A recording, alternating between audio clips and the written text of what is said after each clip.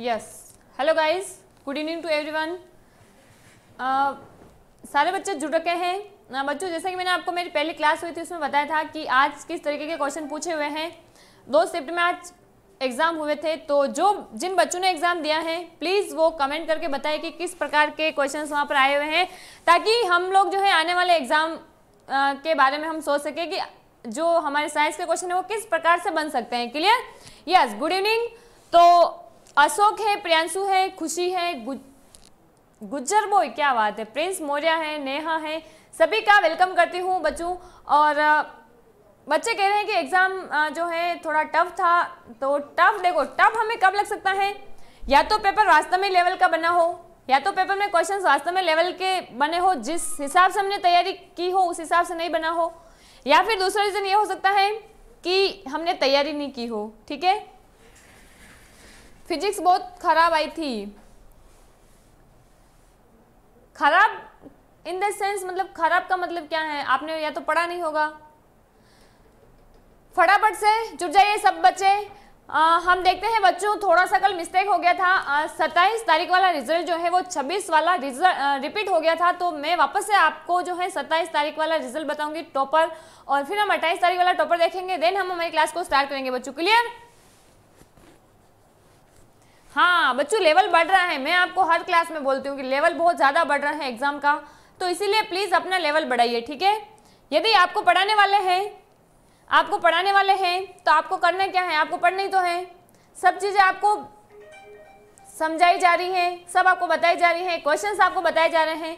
तो दिक्कत तो कहीं आनी नहीं चाहिए, ठीक है? दिक्कत तो कहीं आनी नहीं चाहिए क्लियर यस गोरखपुर वालों को भी गुड इवनिंग बच्चों, हम देखते हैं सत्ताईस तारीख वाला, यानी कि कल का रिज़ल्ट और कल के रिज़ल्ट में बच्चों दो बच्चों के एक समान नंबर हैं। एक है हरिराम मीणा और एक है ओम कला दोनों के थर्टी फाइव मार्क्स आए हैं। हम डिसाइड करते हैं आज के टॉपर कौन है। तो यहाँ पर इन दोनों के स्लिप है बच्चों। और यहाँ पर ये स्लिप हम उठा रहे हैं। अब देखते हैं कि कौन बनेगा करोड़पति। कौन बनेगा टॉपर कल का? तो बच्चों, इसमें नाम आया है हरिराम मीणा का, ठीक है? हरिराम मीणा जो है वो सत्ताईस तारीख के टॉपर है। मैं आपको वापस बता रही हूँ कि कल वाला जो रिज़ल्ट मैंने बताया था, सत्ताईस तारीख वाले में वो छब्बीस वाला रिपीट हो गया था, ठीक है? जो ये कल वाला रिज़ल्ट है, उसका टॉपर है बच्चों हरिराम मीणा, ठीक है? तो हरिराम मीणा जो है वो सत्ताईस तारीख के टॉपर हैं। कट ऑफ़ जो है बच्चों, अभी कुछ कहा नहीं जा सकता है। अभी सारे पेपर होंगे देन पता चलेगा। तब हम बता सकते हैं कि कट ऑफ़ कितनी जाएगी। क्लियर तो सत्ताईस तारीख के टॉपर है हरिराम मीणा। बहुत बहुत बधाइयाँ हरिराम मीणा को। फिर हम अट्ठाईस तारीख की बात करें तो बच्चों, अट्ठाईस तारीख में दो बच्चों के सेम मार्क्स आए हैं, अभिषेक और पंकज, अभिषेक और पंकज। तो हम देख लेते हैं कि यहाँ पर अट्ठाईस तारीख वाले बच्चों में दोनों में से कौन जो है वो टॉपर डिसाइड होगा। तो ये है दोनों की पर्चे मेरे पास। यहाँ पर हम कोई भी एक पर्चे उठा लेते हैं। तो हम ये उठा लेते हैं, देखते हैं कि कौन टॉपर होगा आज का, कौन टॉपर होगा। लेवल हाई गया है, बिल्कुल, लेवल हाई आएगा, ठीक है? तो आज के टॉपर है बच्चों अभिषेक। आज के टॉपर है अभिषेक। तो अभिषेक को कॉन्ग्रेचुलेसन अभिषेक को कॉन्ग्रेचुलेसन बच्चों। यस हमने टॉपर देख लिए। अब हम फटाफट से क्वेश्चंस लाएँगे, यहाँ पर आप लोगों को आंसर्स देने बच्चे, ठीक है? जैसा कि बच्चे बोल रहे हैं ट्वेल्थ का बेच कब से स्टार्ट होगा? तो ट्वेल्थ का बेच जो है वो आई थिंक uh, बहुत जल्द स्टार्ट होने वाला होगा। एक बार सर से कंफर्म कर लीजिएगा ठीक है? Uh, जैसे ही ट्वेल्थ बोर्ड के एग्ज़ाम खत्म हो जाएँगे बच्चों वैसे ही ट्वेल्थ का जो है बेस स्टार्ट हो जाएगा। क्लियर यस तो फटाफट से एग्ज़ाम एनालिसिस कैसे करेंगे? राहुल कुमार जी आ, मैंने आपको क्या बोला कि जब तक आप जो है मुझे नहीं बताएँगे कि क्वेश्चन किस टाइप के आए हैं तो प्लीज़ जिन बच्चों का एग्ज़ाम आज हो गया है फ़र्स्ट एंड सेकंड शिफ्ट में उसमें साइंस के जो क्वेश्चन आपको याद है किस तरीके के क्वेश्चन पूछे हुए हैं आप प्लीज़ कमेंट करके बताएँगे तो मैं जो है आपकी हेल्प कर पाऊँगी क्लियर तो जब तक आप क्वेश्चंस भेजें मुझे तब तक मैं जो है यहाँ पर आ, कुछ क्वेश्चंस हम आपके सामने लेकर आऊँगी और आपको फटाफट से जो है कल की तरह रिविजन करना है क्लियर यस फटाफट से आ जाइए बच्चों। एक बार सेशन को सब लोग लाइक कर दीजिए, क्योंकि आपको पता है, हमारी क्लासेस बहुत शानदार हो रही है और अभी देखना, जो भी कमेंट आएँगे वो हमारे क्वेश्चन के ही जो है क्वेश्चन आंसर होंगे। क्लियर जो पेपर में पूछे गए क्वेश्चन है, उसमें मैंने आपको बताया कि क्वेश्चन आंसर यहीं से आने वाले हैं। हो सकता है कि उसका लेवल थोड़ा ज़्यादा हो और आपने तैयारी उस हिसाब से नहीं की इसलिए आपको टफ लग रहा होगा। बाकी ऐसा कुछ नहीं है। Clear thank you so much तो देखिए यहाँ पर क्वेश्चन है बच्चों हमारा। क्वेश्चन है हमारा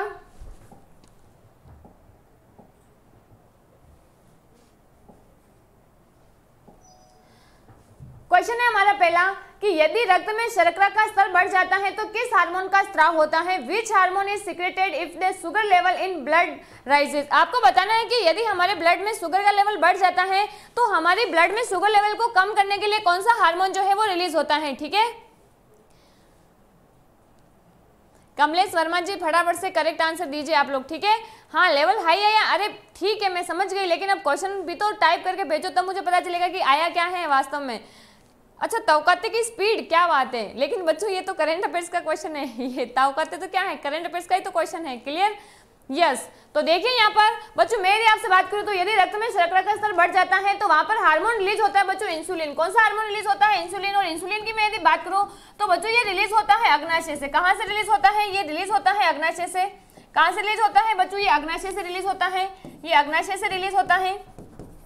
और अग्नाशय में आपको पता है कि बच्चों कौन कौन सी कोशिकाएँ होती हैं? अल्फ़ा सेल और कौन सी होती है? बीटा सेल तो अल्फ़ा सेल जो है, ये ग्लूकेगोन का निर्माण करती है ग्लूकेगोन हार्मोन को रिलीज़ करती है। और इसकी जो बीटा कोशिकाएँ हैं, बच्चों, ये इंसुलिन हार्मोन का प्रोडक्शन करती है। और यदि हमारे शरीर में इंसुलिन की कमी हो जाए तो कौन सा रोग हो जाता है? डायबिटीज़ हो जाता है। क्या हो जाता है? डायबिटीज़ होता है, हो जाता है करेक्ट आंसर हो जाएगा हमारा फोर्थ क्या हो जाएगा? फोर्थ जो है, वो हमारा करेक्ट आंसर हो जाएगा। फिर देखिए बच्चों नेक्स्ट क्वेश्चन नेक्स्ट क्वेश्चन है कि निम्नलिखित में से कौन सी संक्रामक बीमारी नहीं है? Which of the following is not an infectious disease आपको बताना है कि कौन सी ऐसी बीमारी है जो एक व्यक्ति से दूसरे व्यक्ति में नहीं फैलती है। पहला ऑप्शन है डेंगू सेकंड है स्कर्वी थर्ड है टाइफाइड चौथा है बच्चों वुपिंग कप या फिर कुकर खांसी। फटाफट से बता दीजिए कि यहाँ पर कौन सी बीमारी जो है वो इन्फेक्शियस नहीं है। इन्फेक्शियस नहीं है। बच्चों मैं यदि आपसे बात करूँ, डेंगू की तो डेंगू किससे होता है? डेंगू होता है बच्चों, वायरस से। किससे होता है? वायरस होता है। और मैं यदि बात करूँ बच्चों, स्कर्वी तो स्कर्वी जो है, ये किसकी कमी से होता है? ये होता है विटामिन सी की कमी से। तो हमें विटामिन सी की कमी से हो रहा है, ये इन्फेक्शन थोड़ी होगा क्या? यदि हमारी बॉडी में विटामिन सी की कमी होगी, तब कौन सा होगा? स्कर्वी होगा। तो करेक्ट आंसर क्या हो जाएगा? हमारा सेकंड हो जाएगा टाइफाइड आपको पता है बच्चों, ये किसकी वजह से होता है? ये बैक्टीरिया की वजह से होता है। किसकी वजह से होता है? बैक्टीरिया की वजह से होता है। और वुपिंग कप जो है बच्चों, ये भी किसकी वजह से होता है? बैक्टीरिया की वजह से है कि जो रोग बच्चों, बैक्टीरिया, वायरस या फिर फंगस की वजह से होगा, वो सारे के सारे इन्फेक्शन होंगे। तो करेक्ट आंसर हो जाएगा हमारा सेकंड क्या हो जाएगा? सेकंड जो है वो हमारा करेक्ट आंसर हो जाएगा। फिर देखिए नेक्स्ट क्वेश्चन क्या है? क्वेश्चन है कि स्लीपर या फिर फिलपाम के कारण कौन सा रोग होता है? मतलब किसके कारण होता है? एलिफेंटिसिस इज़ कॉज्ड बाय पहला है कि फाइलेरिया कृमि के द्वारा सेकंड है बच्चों फ्लैटवर्म से द्वारा थर्ड है टैपवर्म से द्वारा, या फिर नन ऑफ़ दिस या फिर नन ऑफ़ दिस फटाफट से बता दीजिए कि फाइलेरियसिस जो है फाइलेरियसिस जो है बच्चों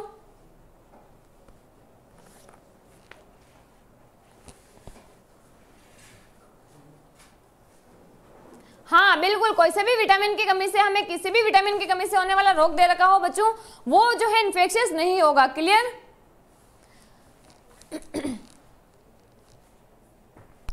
बच्चों, मैं यदि आपसे बात करूँ तो यहाँ पर स्लीपर या फाइलेरिसिस जो है बच्चों फाइलेरिया क्रमे के कारण होता है। किसके कारण होता है? फाइलेरिया क्रमे के कारण होता है। क्लियर तो फ़र्स्ट जो है वो हमारा करेक्ट आंसर हो जाएगा। फ़र्स्ट जो है वो हमारा करेक्ट आंसर हो जाएगा। नेक्स्ट क्वेश्चन है बच्चों बीसीजी वैक्सीन किससे प्रतिरक्षा के लिए दिया जाता है? The BCG vaccine is given for the immunity against आपको बताना है कि हाँ बीसीजी के अगेंस्ट जो है बीसीजी जो है, वो किसके अगेंस्ट इम्यूनिटी दी जाती है? तो बच्चों, मैं आपसे बात करूँ बीसीजी की। तो बीसीजी जो है, ये एक क्या है बच्चों? वैक्सीन है। ये एक प्रकार का क्या है? टीका है, जो किस बीमारी के लिए दिया जाता है? ये टीबी के लिए दिया जाता है, ठीक है? यदि मैं आपसे बात करूँ बीसीजी की फुल फॉर्म क्या है तो बच्चों, इसका नाम है बेसिलस बेसिलस केलमेट गुरिन क्या है? बेसिलस केलमेट गुरिन क्या हो जाएगा? बेसिलस केलमेट ग्यूरिन ठीक है? बेसिलस केलमेट क्या हो जाएगा बच्चों? ग्यूरिन हो जाएगा। तो हमारा करेक्ट आंसर क्या हो जाएगा? हमारा करेक्ट आंसर हो जाएगा बच्चों थर्ड क्या हो जाएगा? थर्ड जो है, ये हमारा करेक्ट आंसर हो जाएगा, क्योंकि टीबी को हम क्या बोलते हैं? टीबी को हम बोलते हैं बच्चों इसका बैक्टीरिया जो है, उसका नाम क्या होता है? उसका नाम होता है माइकोबैक्टीरियम ट्यूबरक्लोसिस क्या होता है? माइकोबैक्टीरियम ट्यूबरक्लोसिस तो आपको यहाँ से पता रखना है। माइकोबैक्टीरियम माइकोबैक्टीरियम माइकोबैक्टीरियम ट्यूबरक्लोसिस क्या हो जाएगा? माइकोबैक्टीरियम बच्चों ट्यूबरक्लोसिस क्लियर तो यहाँ पर करेक्ट आंसर क्या हो जाएगा? करेक्ट आंसर हो जाएगा जो हमारा थर्ड क्या हो जाएगा? थर्ड जो है हमारा करेक्ट आंसर हो जाएगा। बहुत बढ़िया। फिर देखिए नेक्स्ट क्वेश्चन क्वेश्चन है बच्चों हमारा कि पीसी कल्चर किसका उत्पादन और उत्पादन है? Pisciculture is rearing and production of पहला है पक्षियों का बर्ड्स का। सेकंड है फ़िश का। थर्ड है ऊन देने वाले जानवरों का। वुल यील्डिंग एनिमल्स या फिर चौथा है इंसेक्ट्स का। तो आपको पता है कि पीसी कल्चर में हम किसका अध्ययन करते हैं बच्चों? मछलियों का अध्ययन करते हैं। किसका करते हैं? पीसी कल्चर में हम मछलियों का अध्ययन करते हैं बच्चों। बर्ड्स के अध्ययन को हम क्या बोलते हैं? इसके अध्ययन को हम ऑर्निथोलॉजी बोलते हैं। इसके अध्ययन को हम क्या बोलते हैं? ऑर्निथोलॉजी बोलते हैं। क्लियर और यहाँ पर इसका अध्ययन नहीं होता है। इंसेक्ट जो है बच्चों, इसके स्टडी को हम क्या बोलते हैं? इसकी स्टडी को हम बोलते हैं एंटोमोलॉजी क्या बोलते हैं? एंटोमोलॉजी हम बोलते हैं तो यहाँ पर ये चीज़ें भी ध्यान में रखनी है। करेक्ट आंसर क्या हो जाएगा बच्चों? हमारा करेक्ट आंसर हो जाएगा यहाँ पर सेकंड क्या हो जाएगा? पीसी कल्चर पीसी कल्चर में क्या आती है? फिशेज आती हैं। तो मछलियों के पालन और प्रोडक्शन को हम क्या बोलते हैं? पीसी कल्चर बोलते हैं। सेकंड जो है वो हमारा करेक्ट आंसर हो जाएगा। फिर देखिए बच्चों नेक्स्ट क्वेश्चन रेशम प्राप्त किया जाता है। रेशम किससे प्राप्त करते हैं? सिल्क इज़ ऑप्टेन फ्रॉम तितली से या फिर रेशम कीट से या फिर बच्चों कैटरपिलर से या फिर हनी बी से? या फिर हनी बी से? फटाफट बता दो कि रेशम जो है वो किससे प्राप्त किया जाता है। हाँ बिल्कुल सही है। ऑर्निथोलॉजी जो है। अरे हाँ बेटा, मैं क्वेश्चंस पहले करा चुकी हूँ। दिक्कत कहाँ आ रही है? पहले क्वेश्चंस मैं आपको एक बात क्लियर कर देना चाहती हूँ कि मैंने पिछले जितने भी आपको मेरी क्लास जब से स्टार्ट हुई है और जब ट्वेंटी सेवन और आज आपका एग्ज़ाम होने वाला था तो ट्वेंटी सेवन तक मेरे को जितने भी क्वेश्चंस आपको करवाने थे, जितने टॉपिक आपके एग्ज़ाम में आने वाले, बच्चों, में उनसे रिलेटेड सारे क्वेश्चन आपको करवा चुकी हूँ, ठीक है? तो इसीलिए जितना पढ़ रहे हैं उसको प्रॉपर टाइम पे रिवीजन हो जाए वो बहुत ज़्यादा इंपॉर्टेंट है। मैं आपके लिए मान लो कि आज बहुत ज़्यादा अलग अलग क्वेश्चन लेके आ जाती और टफ क्वेश्चन लेके आ जाती, वो आपसे होते नहीं। हम उसमें उलझ जाते। मान लो कि आपका परसों एग्ज़ाम है तो उसमें उसमें क्या फ़ायदा है? हम टाइम भी वेस्ट कर रहे हैं, हमारे से क्वेश्चन भी नहीं हो रहे हैं तो कोई फ़ायदा है क्या? कोई फ़ायदा नहीं है, ठीक है? जो हम पढ़ रहे हैं, जितना पढ़ रहे हैं, जिसका हम रिवीजन कर पा रहे हैं, जो हमसे क्वेश्चन सोल्व पा रहे हैं, वो हमारे लिए ज़्यादा इंपॉर्टेंट है क्लियर तो बच्चों, यहाँ पर मैं आपसे बात करूँ, रेशम कीट जो है, किससे प्राप्त किया जाता है? तो ये किससे प्राप्त किया जाता है? ये सिल्क वर्म से प्राप्त किया जाता है। तो हमारा आंसर क्या हो जाएगा? सेकंड जो है, वो हमारा करेक्ट आंसर हो जाएगा। फिर बच्चों नेक्स्ट क्वेश्चन है हमारा। कि जैविक अपशिष्ट को खाद में बदलने के लिए केचुओं का उपयोग किस प्रक्रिया में किया जाता है? In which process the earthworms are use to convert the organic waste into manure आपको बताना है कि केचुओं का यूज़ हम किस प्रकार से जो है मेन्योर बनाने में करते हैं?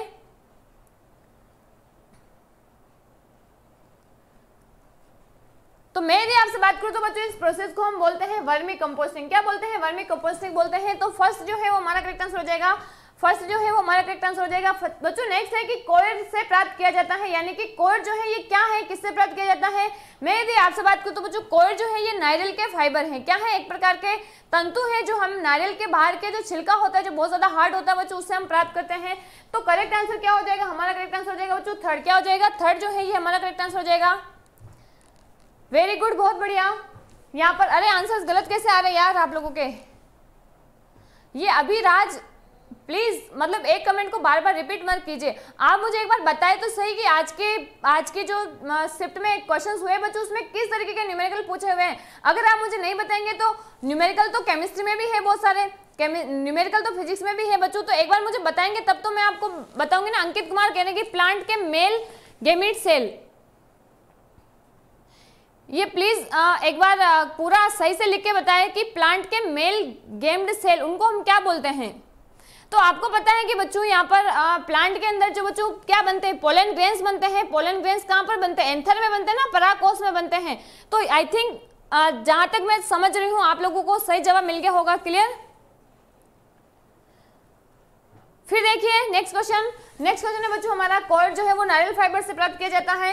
नेक्स्ट है कि बिजली पैदा करने के लिए विशाल तरंगों के पास कौन सी ऊर्जा होती है? तो आपको पता है कौन सी ऊर्जा होती है? सौर ऊर्जा होती है। कौन सी ऊर्जा होती है? सोलर एनर्जी होती है। क्लियर तो सेकंड जो है, ये हमारा करेक्ट आंसर हो जाएगा। सेकंड जो है, ये हमारा करेक्ट आंसर हो जाएगा। नेक्स्ट क्वेश्चन है बच्चों, वह उपकरण जो सौर ऊर्जा को विद्युत में परिवर्तित करता है। The device which convert solar energy into electricity आपको बताना है कि कौन सा जो यंत्र है बच्चों, कौन सा जो डिवाइस है वो सोलर एनर्जी को किसमें चेंज करता है? इलेक्ट्रिक एनर्जी में चेंज करता है। तो आपको पता है कि सौर ऊर्जा जो है उसके लिए सोलर सेल या सोलर कुकर होगा तो सोलर सेल जो है बच्चों, ये सोलर को किसमें चेंज करता है? ये सोलर को इलेक्ट्रिकल में चेंज करता है। सोलर को किसमें चेंज करता है? इलेक्ट्रिकल में चेंज करता है। और मैं यदि बात करूँ बच्चों सोलर कुकर की तो ये सोलर एनर्जी को, ये सोलर एनर्जी को किसमें बदलता है बच्चों? ये हीट एनर्जी में बदलता है। क्लियर तो हमें पूछा है कि सोलर से इलेक्ट्रिकल कौन बनाता है? तो करेक्ट आंसर क्या हो जाएगा? करेक्ट आंसर हो जाएगा बच्चों, यहाँ पर थर्ड क्या हो जाएगा? थर्ड मिरर दर्पण और दर्पण और आप लेंस की बात करें ना कि दर्पण और लेंस से क्वेश्चन पूछे हुए थे, ठीक है, मैं आपको बता दूँगी क्लियर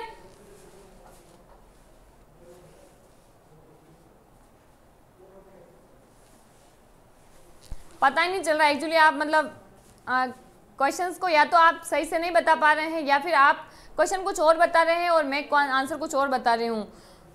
तो करेक्ट आंसर हो जाएगा बच्चों हमारा थर्ड कौन सा हो जाएगा? थर्ड जो है करेक्ट आंसर हो जाएगा। नेक्स्ट है बायोमास में शामिल नहीं है। आपको पता होगा बच्चों बायोमास जो है बायोमास एक्चुअल में होता क्या है? बायोमास जो है, ये बहुत ही सिंपल है। बायोमास का मतलब ये होता है बायो बायो का मतलब क्या होता है? लिविंग की बात कर रहे हैं और लिविंग में आपको पता है कौन कौन आते हैं? लिविंग में आते हैं बच्चों प्लांट कौन आता है? प्लांट कौन आता है? एनिमल आते हैं। इसके अलावा कौन आते हैं बच्चों? इसके अलावा आते हैं माइक्रो ऑर्गेनिज्म कौन आते हैं? माइक्रो ऑर्गेनिज्म आते हैं।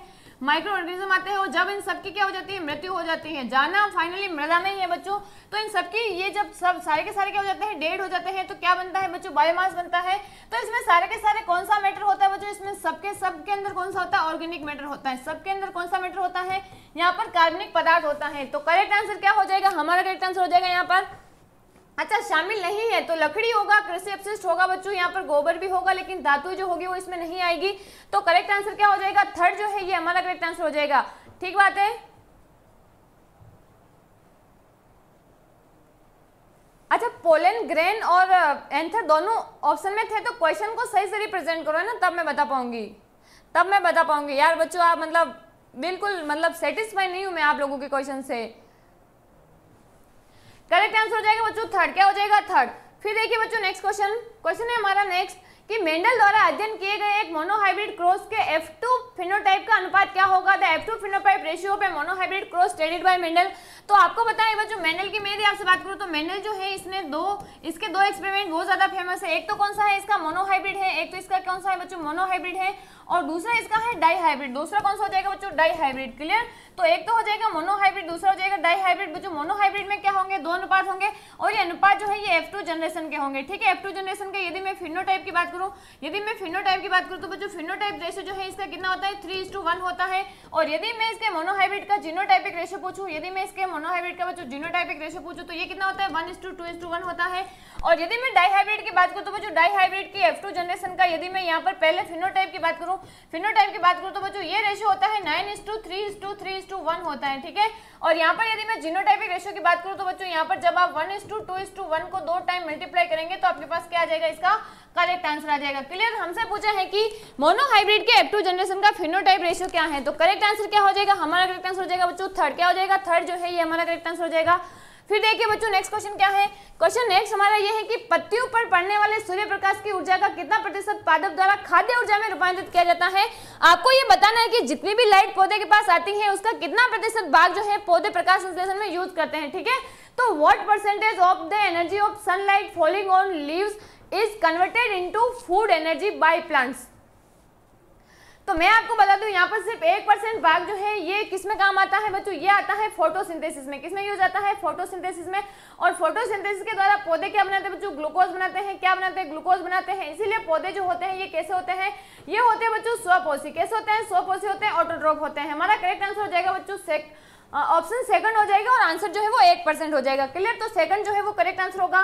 फिर देखिए नेक्स्ट क्वेश्चन बायोमास शब्द ज़्यादातर संदर्भित करता है. The term biomass most oftenly refers to अभी मैंने आपको बताया था कि बायोमास में बच्चों कौन कौन आते हैं? तो प्लांट एनिमल माइक्रोऑर्गेनिज्म इन सब के लिविंग इन सब के जो मृत भाग होते हैं, वो मिलकर बायोमास बनाते हैं और ये जनरली कौन से मैटर होते हैं? ऑर्गेनिक मैटर होते हैं, कार्बनिक पदार्थ होते हैं। तो यहाँ पर जनरली क्या होंगे बच्चों? ये जनरली होता है ऑर्गेनिक मैटर क्या होता है ऑर्गेनिक मैटर तो हमारा करेक्ट आंसर कौन सा हो जाएगा? सेकंड जो है, वो हमारा करेक्ट आंसर हो जाएगा। फिर देखिए बच्चों नेक्स्ट क्वेश्चन फिर देखिए नेक्स्ट क्वेश्चन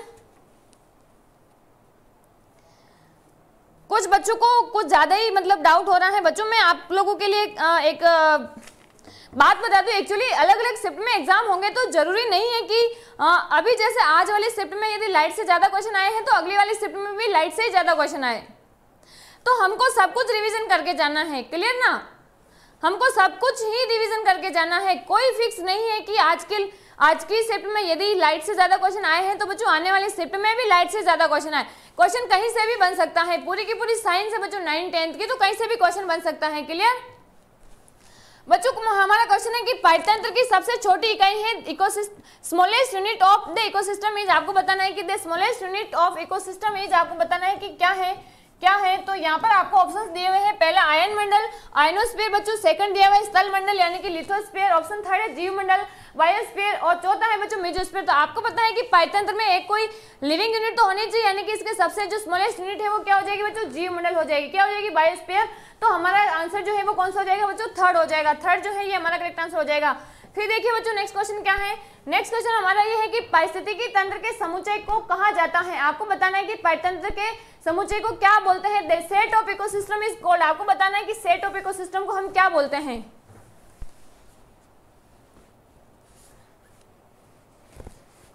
अभिषेक को कोर्स कब मिलेगा? मतलब क्या बात, क्या बोल रहे हो?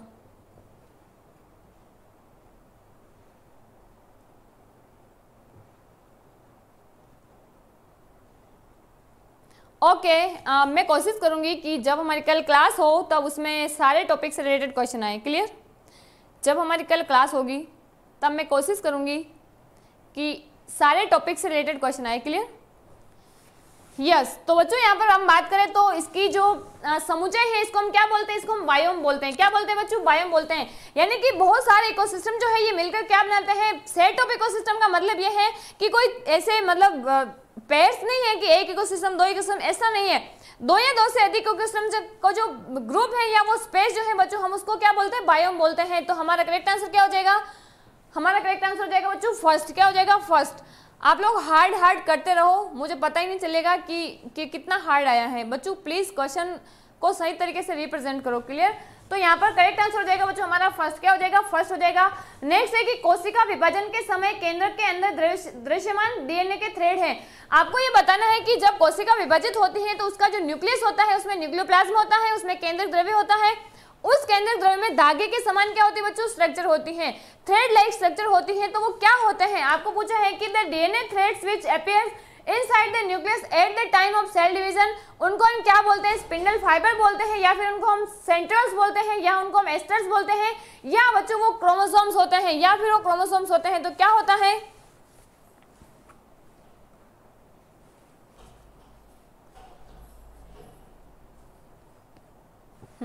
नाइस प्रचार प्रसार करो, और प्रचार प्रसार करना हो तो यूपी में चले जाओ, है ना?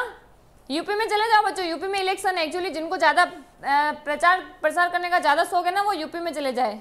और जिनको जंग लड़ने के बहुत ज़्यादा शौक आ रहा है, वो यूक्रेन या फिर रशिया में चले जाए। Clear yes yes. तो बच्चों, यहाँ पर जो हमें डीएनए के जो थ्रेड्स दिखाई देते हैं, वो क्या होते हैं? क्रोमोसोम्स होते हैं। जब कोशिका विभाजन होता है तो ये किसमें कन्वर्ट हो जाता है? क्रोमोसोम में ये कन्वर्ट हो जाते हैं। क्लियर तो करेक्ट आंसर हो जाएगा बच्चों, हमारा फोर्थ कौन सा हो जाएगा? फोर्थ जो है, ये हमारा करेक्ट आंसर हो जाएगा।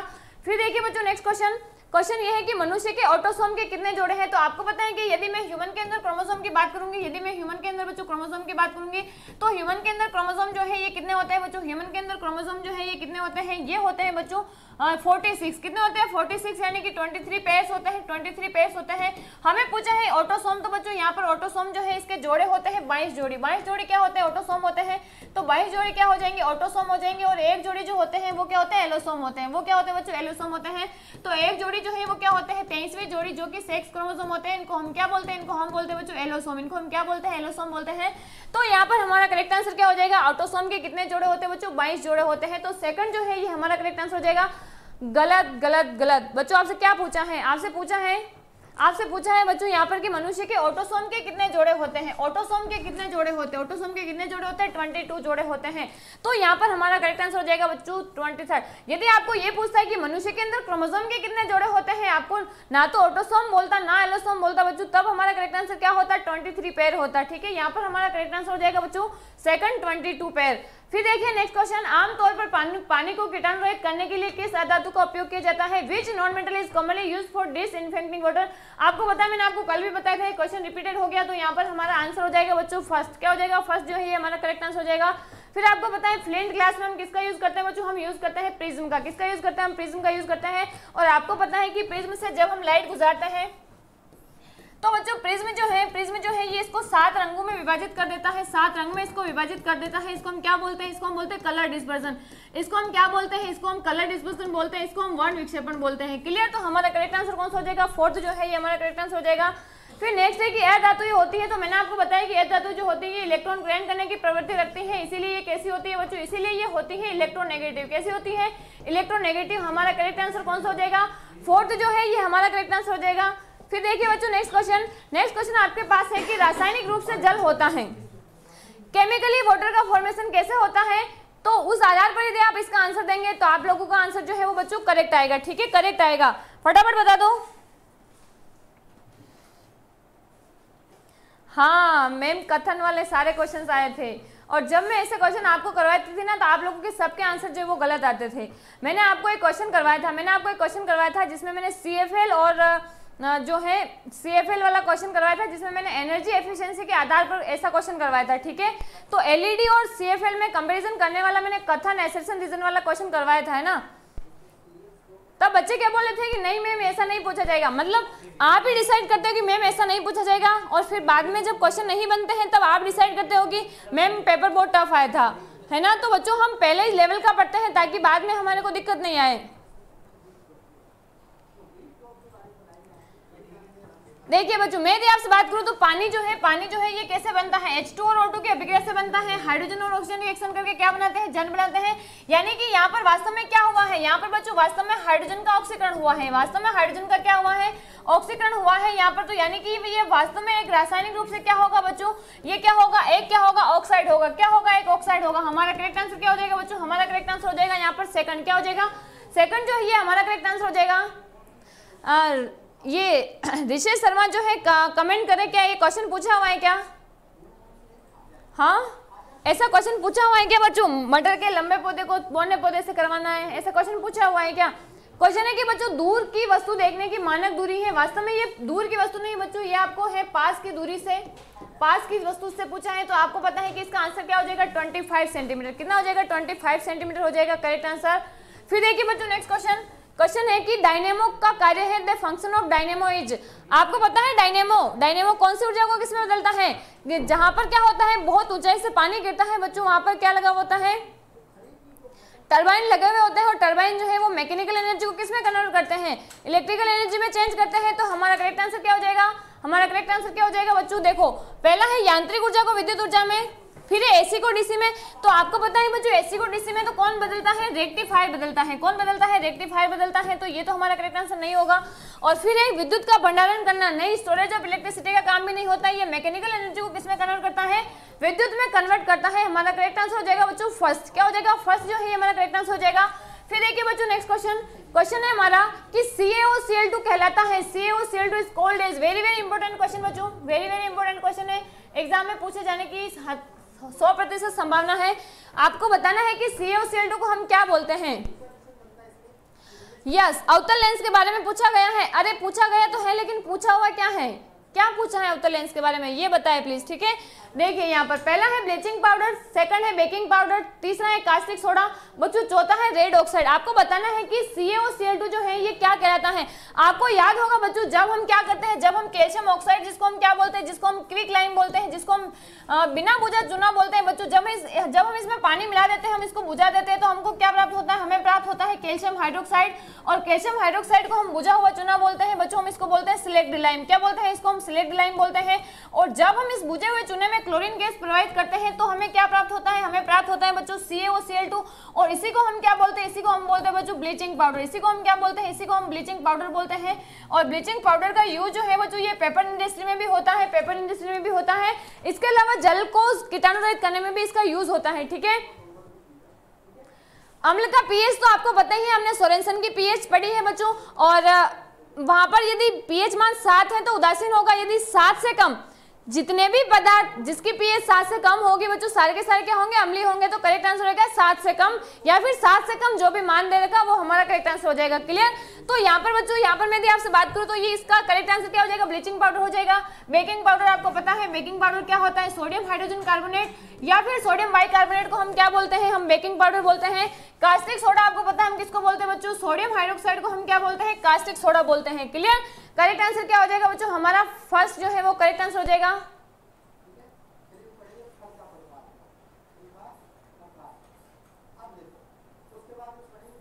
विटामिन ई e का रासायनिक नाम पूछा है, विटामिन ई e का रासायनिक नाम होता है बच्चों टोकोफेरोल। क्या होता है? टोकोफेरोल होता है।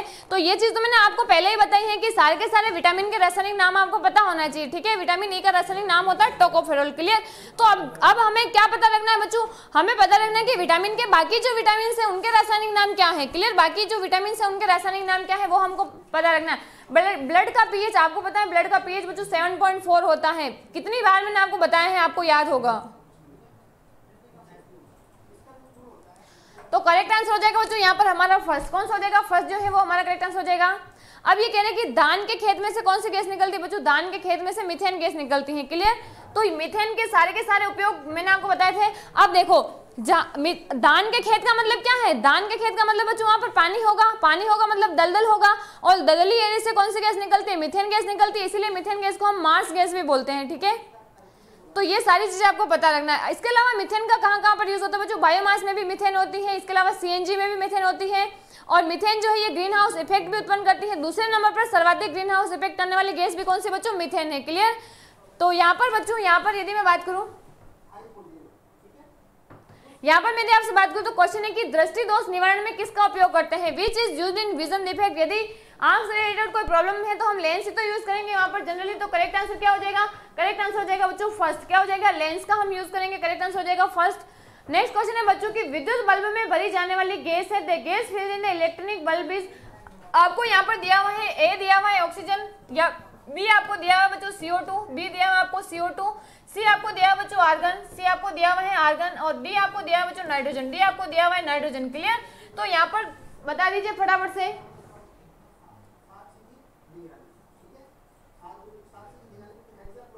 हाँ अरुण कुमार जी एक्चुअली आप सही कह रहे हैं बट सबको थोड़ी ना पसंद आती है कि बहुत सारे बच्चे क्लास देखते हैं, लेकिन ज़रूरी थोड़ी कि सबको क्लास पसंद आए तो कोई ज़रूरी नहीं है सर ठीक है? तो बच्चों, मैं भी आपसे बात करूँ तो आपको पता है कि कौन से गैस बढ़ सकते हैं। यहाँ पर दोनों जो ये आर्गन जो है, ये क्या है, बच्चों इनर्ट गैस है, ये कौन सी गैस है? इनर्ट गैस है? और नाइट्रोजन है, ये भी लगभग क्या होती है बच्चों? ये लगभग इनर्ट गैस तो नहीं है, लेकिन ये इनर्ट ही होती है मतलब बहुत कम क्रियाशील होती है, ठीक है? तो करेक्ट आंसर क्या हो जाएगा? या तो सी या फिर डी करेक्ट आंसर क्या हो जाएगा बच्चों? आर्गन या फिर नाइट्रोजन करेक्ट आंसर क्या हो जाएगा? हमारा करेक्ट आंसर हो जाएगा बच्चों, यहाँ पर हमारा सी क्या हो जाएगा? सी जो है वो करेक्ट आंसर हो जाएगा। फिर बच्चों नेक्स्ट है कि मनुष्य मस्तिष्क में सी एस एफ़ की मात्रा कितनी होती है? Amount of C S F in human brain is 500 ml होती है या फिर 150 ml होती है या फिर 1000 ml होती है या बच्चों 1.5 ml होती है तो आपको पता होगा, आपको पता होगा CSF की मात्रा जो है CSF क्या है? हमारे मस्तिष्क में भरा हुआ एक पदार्थ है, ठीक है? हमारे मस्तिष्क की जो सुरक्षा करता है बच्चों, मस्तिष्क की जो सुरक्षा करने वाला द्रव है बच्चों, इसको हम क्या बोलते हैं? सीएसएफ बोलते हैं। और इसकी मात्रा जो है वो लगभग होती है 100 से 150 ml कितनी होती है? 100 से 150 ml होती है। तो करेक्ट आंसर क्या हो जाएगा? करेक्ट आंसर हो जाएगा हमारा करेक्ट आंसर हो जाएगा जो हमारा सेकंड क्या हो जाएगा? सेकंड जो है ये हमारा करेक्ट आंसर हो जाएगा.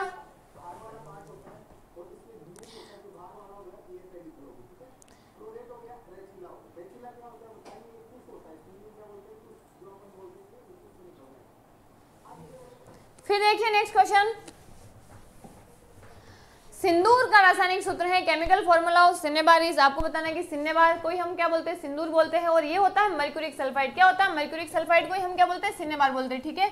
तो ये हो जाएगा मर्क्यूरिक सल्फाइड क्या हो जाएगा? मर्क्यूरिक सल्फाइड तो करेक्ट आंसर हो जाएगा हमारा बच्चों मर्क्यूरिक सल्फाइड सेकंड जो है वो हमारा करेक्ट आंसर हो जाएगा। फिर देखिए नेक्स्ट क्वेश्चन क्वेश्चन नेक्स्ट है बच्चों हमारा। कि निम्न में से कौन सा एक अनुवांशिक रोग है? आपको बताना है कि कौन सा जो है वो जेनेटिक डिज़ीज़ है, जो कि पेरेंट्स से उसके बच्चों में आती है। One of the following is hereditary disease option first है बच्चों सिकल सेल एनीमिया सेकंड है कोलेरा थर्ड है एड्स फोर्थ है बच्चों मलेरिया देखते ही पता चल जाना चाहिए कि कौन सा डिज़ीज़ जो है वो जेनेटिक डिज़ीज़ है। बच्चे रो रहे हैं, कह रहे कि पेपर बहुत हार्ड आया, इतना रोना आ रहा है क्या? तो इतना रोना इसलिए आ रहा है क्योंकि मैं आपको बार बार बोलती थी, बच्चों, पढ़ लो पढ़ लो पढ़ लो। सुनता कौन है हमारी यहाँ सुनते तो हो नहीं।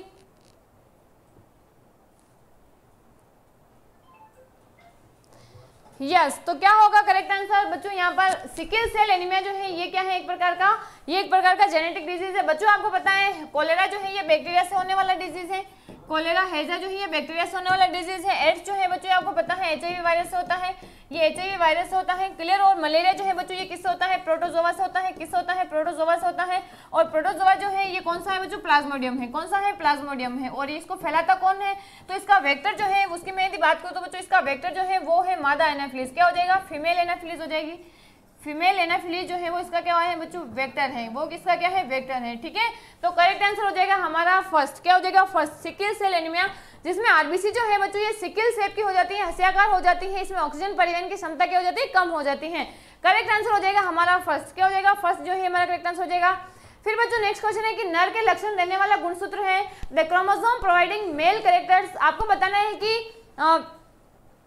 आपको इनडायरेक्टली ये बताना है कि जो लड़का होता है बच्चों, उसमें कौन सा क्रोमोसोम होता है? ऑब्वियसली सी बात है कि नर के लक्षण तो कौन प्रदर्शित करेगा? लड़का ही प्रदर्शित करेगा। तो उसके लिए कौन सा क्रोमोसोम है? एक्स क्रोमोसोम है या फिर ट्वेंटी सेकंड क्रोमोजोम है या फिर वाई क्रोमोजोम है? या बच्चों ट्वेंटी फ़र्स्ट क्रोमोजोम है? या फिर ट्वेंटी फ़र्स्ट क्रोमोजोम है? फटाफट बता दो, फटाफट बता दो। रोने की कोई बात नहीं है। हो सकता है हमारा पेपर आसान नहीं गया हो, इससे हमें सीख लेने की ज़रूरत है, ठीक है? इसे हमें सीख लेने की ज़रूरत है कि आसान कुछ भी नहीं है। और इम्पॉसिबल कुछ भी नहीं है, ठीक है? यदि हम ठान लें कि मैं कर सकता हूँ तो बच्चों, आप जैसे लोग ही करते हैं, ठीक है? ऐसा तो है नहीं भाई कि आसमान से कोई टपकेगा और वो आप इस एग्ज़ाम को करेक्ट करेगा। ऐसा नहीं है ना? सेलेक्ट होगा, ऐसा तो है नहीं। आप जैसे बच्चे ही सेलेक्ट होंगे उसमें तो जो पढ़ाई करेगा, वो जीतेगा, ठीक है? वो सक्सेस होगा। क्लियर तो बच्चों, यहाँ पर मैं यदि आपसे बात करूँ तो नर के लक्षण देने वाला गुणसूत्र कौन सा है? नर के लक्षण देने वाला गुणसूत्र है बच्चों, यहाँ पर वाई क्रोमोसोम कौन सा हो जाएगा? वाई क्रोमोसोम थर्ड जो है वो हमारा करेक्ट आंसर हो जाएगा। वाई क्रोमोसोम जो है ये नर के लक्षण देता है। नेक्स्ट है कि बच्चों, निम्न में अक्रिय गैसों का समूह है। Following is a group of inert gases तो आपको पता है, मैं यदि बात करूँ तो बच्चों, अठारवा वर्ग जो है, अंतिम वर्ग जो है वो अठारवा वर्ग है बच्चों। इसमें कौन कौन सी गैसें हैं? तो इसमें हो जाएगी हीलियम, इसके अलावा हो जाएगी नियोन बच्चों। इसमें हो जाएगी आर्गन, क्रिप्टोन, जिनोन और रेडोन। ठीक है तो यहाँ पर ये सारी की सारी गैसें आपको याद रखनी है। ऐसा क्वेश्चन पूछा जाएगा। Helium, neon, argon, krypton, xenon, radon तो हम चेक कर लेते हैं यहाँ पर। यहाँ पर मैं बात करूँ, बच्चों हाइड्रोजन नहीं होती है। दूसरा है रेडोन, हीलियम और आर्गन तो यस बिल्कुल करेक्ट आंसर बच्चों। सेकंड जो है, ये हमारा करेक्ट आंसर हो जाएगा, ठीक है? सेकंड जो है, ये हमारा करेक्ट आंसर हो जाएगा।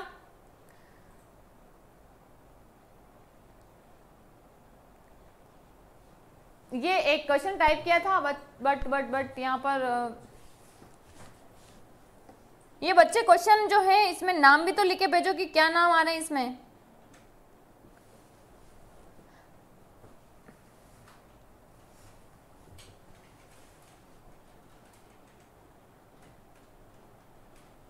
यस yes, तो यहाँ पर हमारा करेक्ट आंसर हो जाएगा बच्चों सेकंड क्या हो जाएगा? सेकंड ऐसा नहीं है बिल्कुल भी नहीं है ठीक है?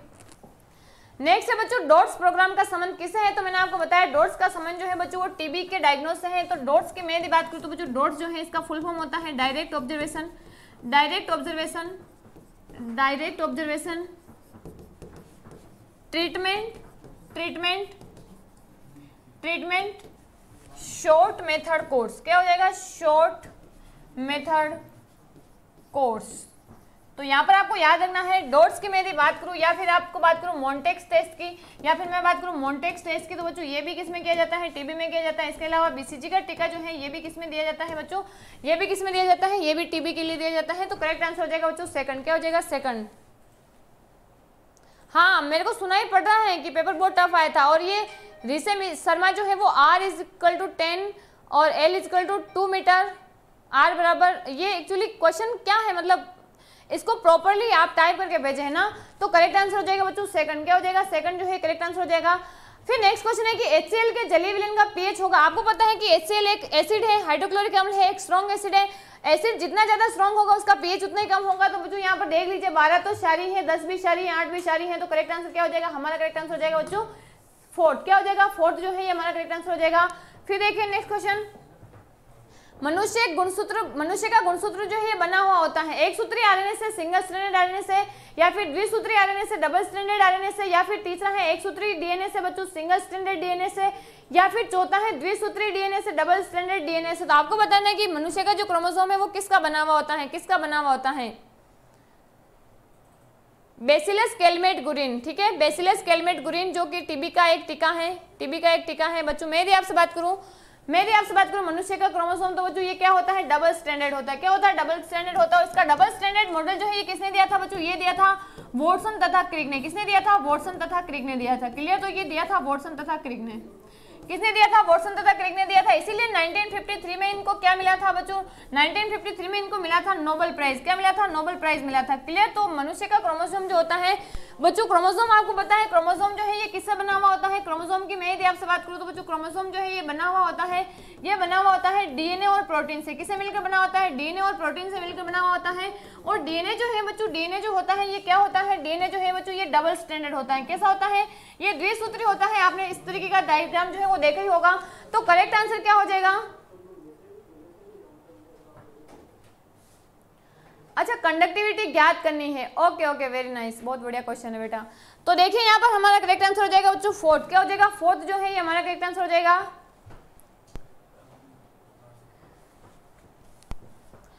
एक बार दिशा मिश्रा जी, मैं एक बार आप के पास आऊँगी जब आप मुझे क्वेश्चन को वापस से करके भेजना, मैं आपको बता दूँगी, ठीक है? बिल्कुल सही है, आप लोगों का आंसर मैं समझ गई क्वेश्चन क्या पूछा है? फिर नेक्स्ट है बच्चों नेक्स्ट है हमारा नेक्स्ट है हमारा यहाँ पर, बच्चों ये काम करना, ये नंबर दे रखे ना, अब जो जिसका भी नेक्स्ट शिफ्ट में एग्ज़ाम एग्ज़ाम होना वो इस नंबर पर है ना व्हाट्सअप कर दे, जो जो क्वेश्चन आपको पता हो तो सर देखते रहेंगे यहाँ पर आप लोगों के क्या क्वेश्चन पूछे जा रहे हैं। नेक्स्ट है बच्चों हमारा नेक्स्ट है हमारा निम्नलिखित में से सत्य कथन है which of the following is a correct statement बैंगनी रंग का तरंग दैर्ध्य सबसे कम तथा आवृत्ति सबसे अधिक होती है। Wavelength of violet colour is is minimum and frequency is maximum option second है, लाल रंग का तरंग दैर्ध्य अधिकतम तथा आवृत्ति न्यूनतम होती है। Wavelength of red colour is maximum and frequency is frequency is minimum आपको बताना है कि कौन कौन से स्टेटमेंट जो है वो करेक्ट है? Option first and second both correct है या फिर ऑप्शन केवल ओनली जो है वो करेक्ट है या फिर ओनली बी करेक्ट है या फिर नन ऑफ़ दिस या फिर नन ऑफ़ दिस फिजिक्स से ज़्यादा आ रहा है, कोई दिक्कत नहीं हम कल सारे सवाल जो है वो फिजिक्स के लेकर आएँगे, ठीक है? फिजिक्स के जितने भी टॉपिक आप लोगों के दे रखे हैं, वहाँ से हम क्वेश्चंस लेके आएँगे, घबराने वाली कोई बात नहीं है।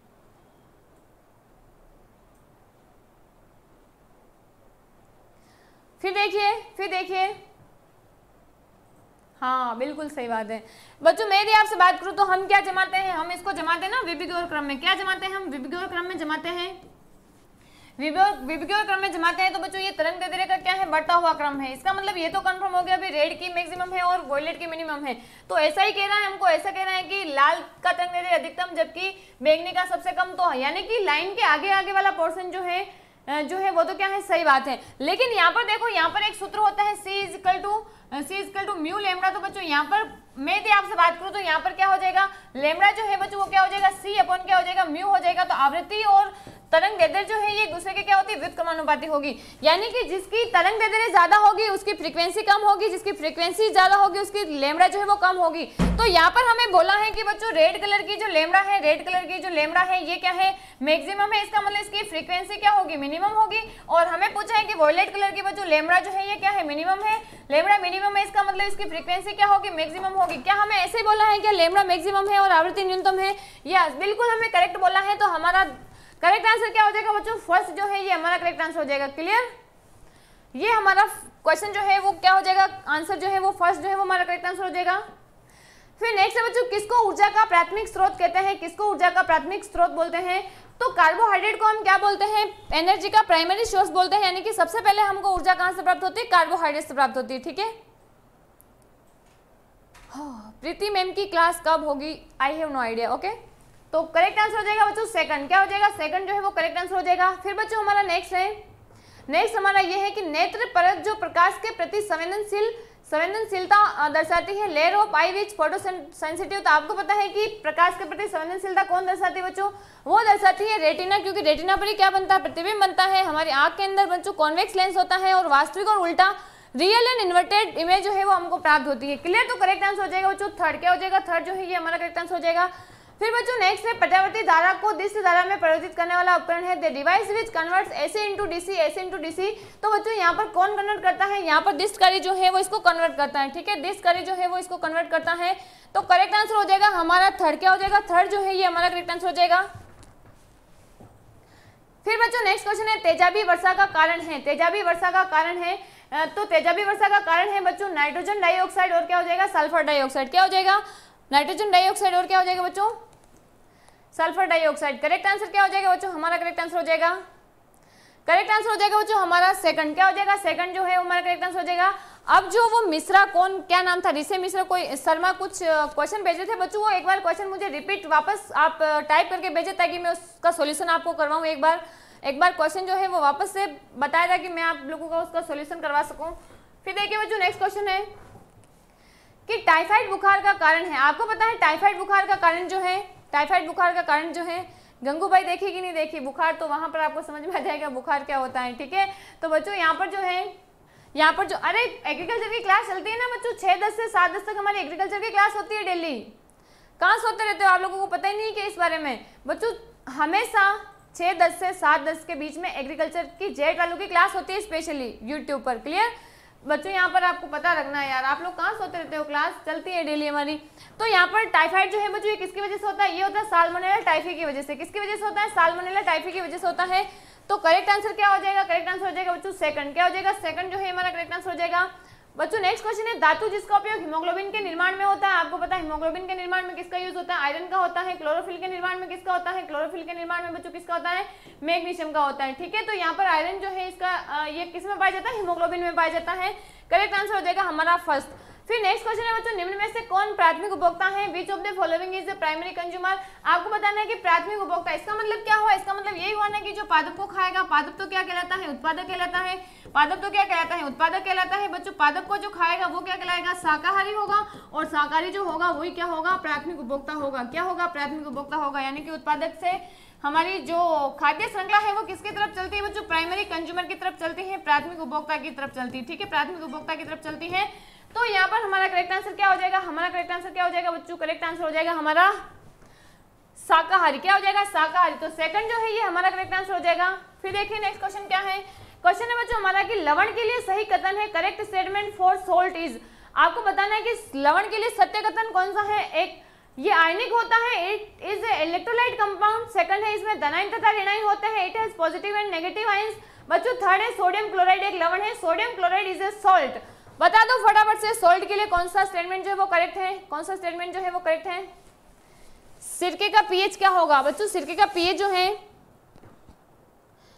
एक मिनट टेक्निकल टीम प्लीज़ इस कमेंट को थोड़ा रोक के रखें। रिसे शर्मा का कमेंट आ रहा है। यस यस बिल्कुल। बच्चों, इस क्वेश्चन का आंसर देख लेते हैं, इस क्वेश्चन का आंसर देख लेते हैं तो आपको पता है कि ये आयनिक कंपाउंड होते हैं, बिल्कुल, क्योंकि ये अम्ल और क्षार से बनते हैं तो यहाँ पर ये आयनिक कंपाउंड होता है, इसमें धनाइन और ऋणाइन दोनों ही होते हैं, बच्चों, ये सोडियम क्लोराइड एक लवण है तो यहाँ पर हमारा करेक्ट आंसर क्या हो जाएगा, बच्चों, यहाँ पर हमारा करेक्ट आंसर हो जाएगा सी क्या हो जाएगा सी जो है, ये हमारा करेक्ट आंसर हो जाएगा। अब देखिए यहाँ पर हम बच्चों क्वेश्चन लेते हैं क्वेश्चन ये है कि किसी चालक में 150 ओम का प्रतिरोध उत्पन्न करने के लिए, यानी कि हमको एक कंडक्टर दे रखा है बच्चों, उसका प्रतिरोध आर का मान कितना दे रखा है? आर का मान दे रखा है 150 ओम। कितना दे रखा है? 150 ओम हमको दे रखा है। और फिर है उत्पन्न करने के लिए पाँच मीटर तार की ज़रूरत होती है। पाँच मीटर तार यहाँ पर दे रखा है बच्चों, लंबाई हमको दे रखी है पाँच मीटर, ठीक है? पाँच मीटर जो है वो लंबाई दे रखी है। और फिर कह रहा है कि तार की ये दिखाई नहीं दे रहा है यार। तार की ये क्या मान दे रखा है? कुछ I think point five point five into tens to the power and two tens to the power six minus six है। आई थिंक तार की त्रिज्या बोल रहे होंगे। जहाँ तक मैं समझ पा रही हूँ, यहाँ पर तार की त्रिज्या जो है वो हमको दे रखी है point two five into tens to power minus six तो आपको ज्ञात करना है कि प्रतिरोधकता क्या होगी।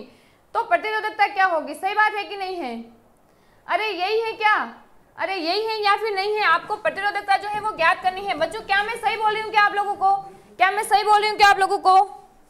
किसी चालक में 150 ओम का प्रतिरोध उत्पन्न करने के लिए पाँच मीटर तार की ज़रूरत पड़ती है तो तार और तार की त्रिज्या इतनी है। अरे रिश्ते शर्मा, एक बार कमेंट कीजिए, क्या मैंने जो लिखी है वो सारी चीज़ें सही है क्या? यस ओके ओके अब देखिए, आपको क्या पूछा है? यहाँ पर एल रो पूछा है बच्चों प्रतिरोधकता पूछी है तो बहुत ही आसान है। आप लोगों को मैंने बताया था आर जो है वो क्या होता है? रो एल अपॉन ए होता है। रो एल अपॉन ए होता कि नहीं होता है? होता है ना ऐसा? तो आपको क्या ज्ञात करना है? रो ज्ञात करना है तो रो इज़ इक्वल टू क्या हो जाएगा? वो हो जाएगा R A upon L R A upon क्या हो जाएगा? एल हो जाएगा। आर का मान आपको दे रखा है। आर का मान आपको कितना दे रखा है? 150 दे रखा है। और अपॉन एल आपको दे रखा है। एल आपको कितना दे रखा है बच्चों? 5 मीटर दे रखा है। इनटू अब देखो एरिया आपको नहीं दे रखा है, लेकिन इतनी मैथ्स आपने पढ़ी होगी बच्चों। तार जो होगा वो किसी भी एंड से क्या होगा? एक गोलाकारी तो होगा, क्या होगा? इस तरीके से होगा तो उसका क्षेत्रफल क्या होगा? उसका क्षेत्रफल क्या होगा बच्चों? यहाँ पर एक तरीके से वृत्ताकारी तो होगा, जैसे तार का एंड जो है, उसको हम अनुप्रस्थ कार क्षेत्रफल लेते हैं तो क्षेत्रफल क्या होगा? पाई आर स्क्वायर क्या लेते हैं? पाई आर स्क्वायर तो यहाँ पर क्या हो जाएगा बच्चों? पाई आर स्क्वायर तो आर का मान आपको दे रखा है। मैं इसको थोड़ा आसान कर देती हूँ यहाँ पर। Point two five into ten to power minus six यहाँ पर मैं इसको हटाऊँगी तो बच्चों यहाँ पर सो आएगा और ये एक बटा चार इंटू क्या हो जाएगा? Ten to power minus six हो जाएगा, ठीक है? तो यहाँ पर आर स्कोर जो है ये क्या हो जाएगा? यहाँ पर आर स्कोर जो है बच्चों ये ten to power minus six अपन क्या हो जाएगा? फोर और इसका क्या हो जाएगा? स्क्वायर हो जाएगा क्लियर क्या हो जाएगा? यहाँ पर ये वाला हो जाएगा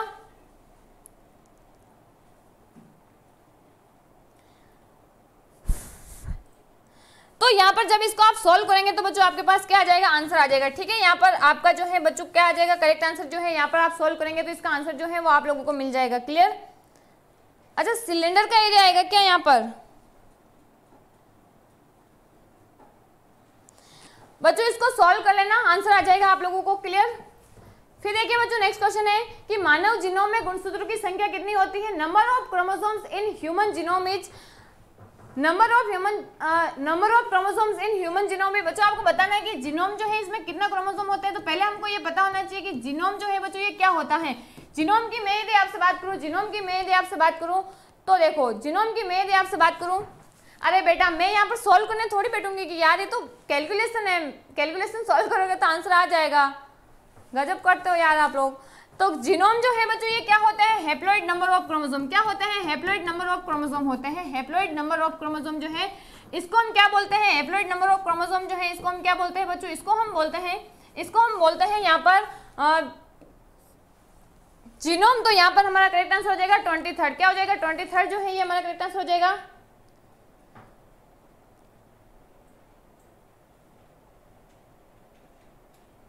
फिर देखिए बच्चों नेक्स्ट क्वेश्चन क्वेश्चन है हमारा नेक्स्ट विद्युत चुंबक में काम आने वाली धातु कौन सी है? मेटल यूज़ इन इलेक्ट्रोमैग्नेट्स आपको बताना है कि विद्युत चुंबक बनाने के लिए कौन सी धातु यूज़ में आती है? निकल जिंक या सॉफ्ट आयरन या फिर बच्चों, कौन सा था आपको पता है कि कौन सी धातु यूज़ में आती है बच्चों? सॉफ्ट आयरन यहाँ पर यूज़ में आता है, ठीक है? फिर नेक्स्ट क्वेश्चन है कि मलेरिया का वाहक परपोषक कौन है? आपको पता है ये प्रोटोजोवा से होता है, जिसका नाम प्लाज्मोडियम है। बच्चों, मादा एनाफ्लिस इसको फैलाती है तो हम देख लेते हैं, मादा क्लेक्स मच्छर नहीं नर एनाफ्लिस नहीं नर एडिस नहीं, बच्चों, हमारा करेक्ट आंसर कौन सा हो जाएगा? उपरोक्त में से कोई नहीं। क्या हो जाएगा? उपरोक्त में से कोई नहीं। क्लियर फिर देखिए बच्चों नेक्स्ट क्वेश्चन है, निम्नलिखित में से पायस का उदाहरण है। आपको बताना है कि कौन सा जो है वो पायस का उदाहरण है।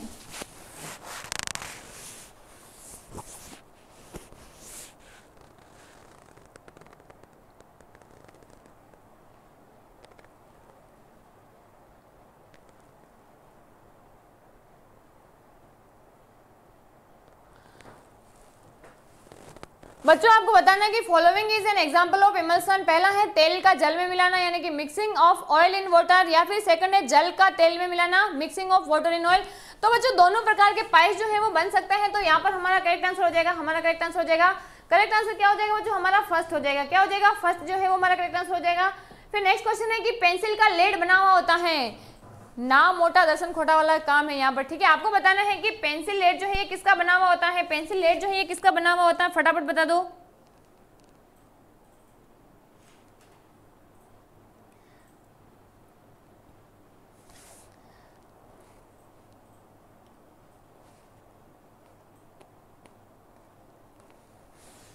यस एक बार कमेंट को स्टार्ट कर दीजिए प्लीज़ बच्चों, यहाँ पर पेंसिल का लेड की मैं यदि बात करूँ तो ये किसका बना हुआ होता ग्रेफाइट का बना हुआ होता है। किसका बना हुआ होता? है ग्रेफाइट का बना हुआ होता है। क्लियर?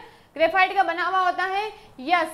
ये नया क्वेश्चन है क्या? ऋषि शर्मा का। नया क्वेश्चन है क्या? दो मीटर लंबा एक तार जिसकी त्रिज्या दो इंटू दस की घात माइनस चार है। उस तार में उत्पन्न होने वाला प्रतिरोध दस ओम का है। तो विशिष्ट प्रतिरोध का मान ज्ञात कीजिए। ये क्वेश्चन पिछला वाला से अलग लग रहा है। यस, मैं करवा देती हूँ। एक बार बहुत ही आसान है।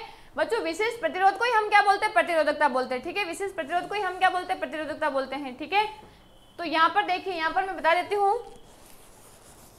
बिल्कुल वही वाला सूत्र लगेगा, वही वाला सूत्र लगेगा आपके सामने।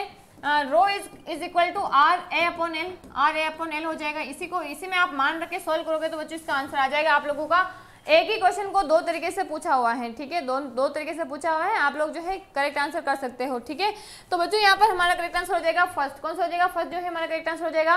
नेक्स्ट है कि मेंडल ने अपने प्रयोगों के लिए मटर के कितने जोड़े लक्षणों का चयन किया? How many pairs of characters of pea were chosen by Mendel for his experiment तो आपको पता है कि कितने लक्षण चुने थे बच्चों? सात लक्षण चुने थे। करेक्ट आंसर हो जाएगा हमारा सेकंड फिर बच्चों नेक्स्ट देखिए क्वेश्चन क्वेश्चन है कि भूख तथा प्यास के केंद्र मस्तिष्क के किस भाग में पाए जाते हैं? Hunger and thirst centres are found in which part of the brain तो आपको पता है कि भूख और प्यास को नियंत्रण करने वाले केंद्र जो है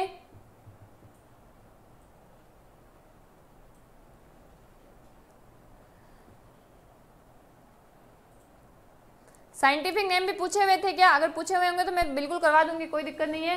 तो भूख तथा प्यास के केंद्र मस्तिष्क के किस भाग में पाए जाते हैं? बच्चों hunger and thirst centres are found in which part of brain तो ये होते हैं बच्चों हाइपोथैलेमस में। कहाँ पर होते हैं हाइपोथैलेमस में? तो हमारा करेक्ट आंसर क्या हो जाएगा? फोर्थ जो है, ये हमारा करेक्ट आंसर हो जाएगा। फिर देखिए बच्चों नेक्स्ट क्वेश्चन क्वेश्चन हमारा ये है कि बैक्टीरिया जनक संक्रामक रोग जिसका संक्रमण लैंगिक संपर्क से फैलता है। Bacterial infection disease which is caused by sexual contact option first is AIDS second है सिफिलिस या फिर थर्ड है गोनेरिया आपको बताना है कि इसमें से कौन कौन से डिज़ीज़ जो है बच्चों, वो जो है, किसके द्वारा फैलती है? सेक्सुअल कॉन्टेक्ट के द्वारा फैलती है। सेक्सुअल कॉन्टेक्ट के द्वारा एक व्यक्ति से दूसरे व्यक्ति में फैलती है। स्वस्थ त्वचा का पीएच अपनी स्किन का पीएच पूछा है अपनी स्किन जो स्किन जो है बच्चों, उसमें क्या पाए जाते हैं? सोल्ट होते हैं, ठीक है? स्किन में जो है बच्चों, ग्रंथियाँ पाई जाती है जो पसीने का श्रवण करती है, ठीक है? तो उसमें क्या होते हैं? सोल्ट होते हैं। तो जनरली यदि हम बात करते हैं तो सोल्ट किस टाइप का है, उस पर डिपेंड करेगा, ठीक है? ऑप्शन क्या क्या दिए हुए थे? एक बार आप बताइए मुझे।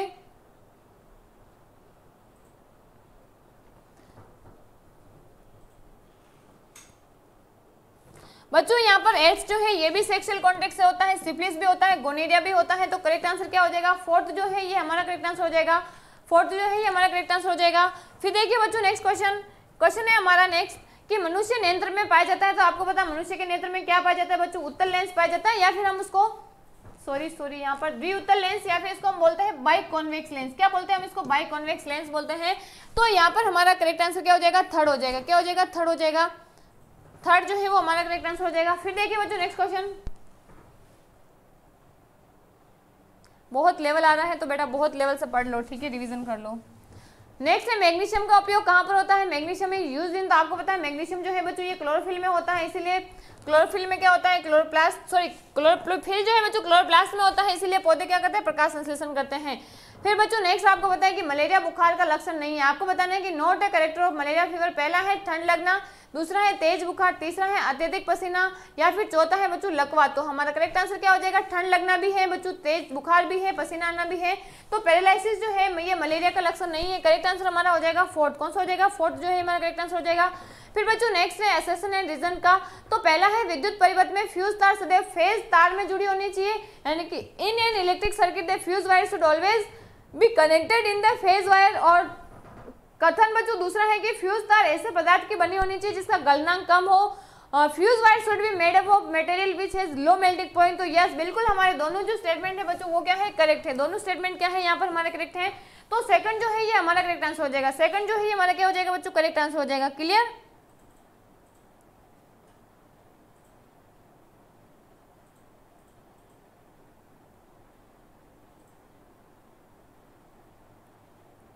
हाँ बिल्कुल, विकास जी के बिल्कुल सही कमेंट आ रहे हैं। बिल्कुल, विकास जी यहाँ पर सही कमेंट कर रहे हैं, यहाँ पर कह रहे हैं कि भाई मतलब इनकी बात से तो ऐसा लग रहा है। हाँ एक क्वेश्चन ऐसा भी था जिसमें कोई बस चलना प्रारंभ करती है तो उसका वेग 60 मीटर पर सेकंड हो टाइम पाँच सेकंड हो तो बच्चों तुरंत पूछा है तो आसान है ना ये तो बहुत ही आसान है, इसमें तो क्या करना है? आपको कुछ नहीं करना है, बस चलना प्रारंभ करती है तो प्रारंभिक वेग क्या हो जाएगा? ज़ीरो हो जाएगा। तो आपको पता है, v is equal to u plus at हम गति का प्रथम समीकरण लगाते हैं ना, v is equal to u plus at तो u तो ज़ीरो हो जाएगा, प्रारंभ में चलना प्रारंभ करके तो u तो क्या हो जाएगा? ज़ीरो हो जाएगा। V जो है बच्चों आपको दे रखा है v का मान आपको 60 दे रखा है, आपको टाइम दे रखा है, पाँच सेकंड तो तुरंत क्या हो जाएगा, तुरंत क्या हो जाएगा वेग अपन समय हो जाएगा तो 60.5 हो जाएगा तो क्या हो जाएगा? 60.5 आप करोगे तो आंसर क्या आ जाएगा? आपका जो भी आंसर होगा वो आ जाएगा, ठीक है? आंसर आ जाएगा बच्चों आपका 12 क्या आ जाएगा? 12 जो है वो आपका जो है आंसर आ जाएगा. क्लियर फिर देखिए बच्चों नेक्स्ट क्वेश्चन इसका करेक्ट आंसर हो जाएगा हमारा सेकंड कौन सा हो जाएगा? सेकंड जो है वो हमारा करेक्ट आंसर हो जाएगा. नेक्स्ट क्वेश्चन है बच्चों हमारा कि लेक होता है लेक क्या होता है? जंतु उत्पाद होता है, पादप उत्पाद होता है, कवक उत्पाद होता है, या फिर ये एक प्रकार का लार्वा होता है, या फिर ये एक प्रकार का लार्वा होता है? फटाफट बता दो, फटाफट बता दो बच्चों करेक्ट आंसर क्या होगा?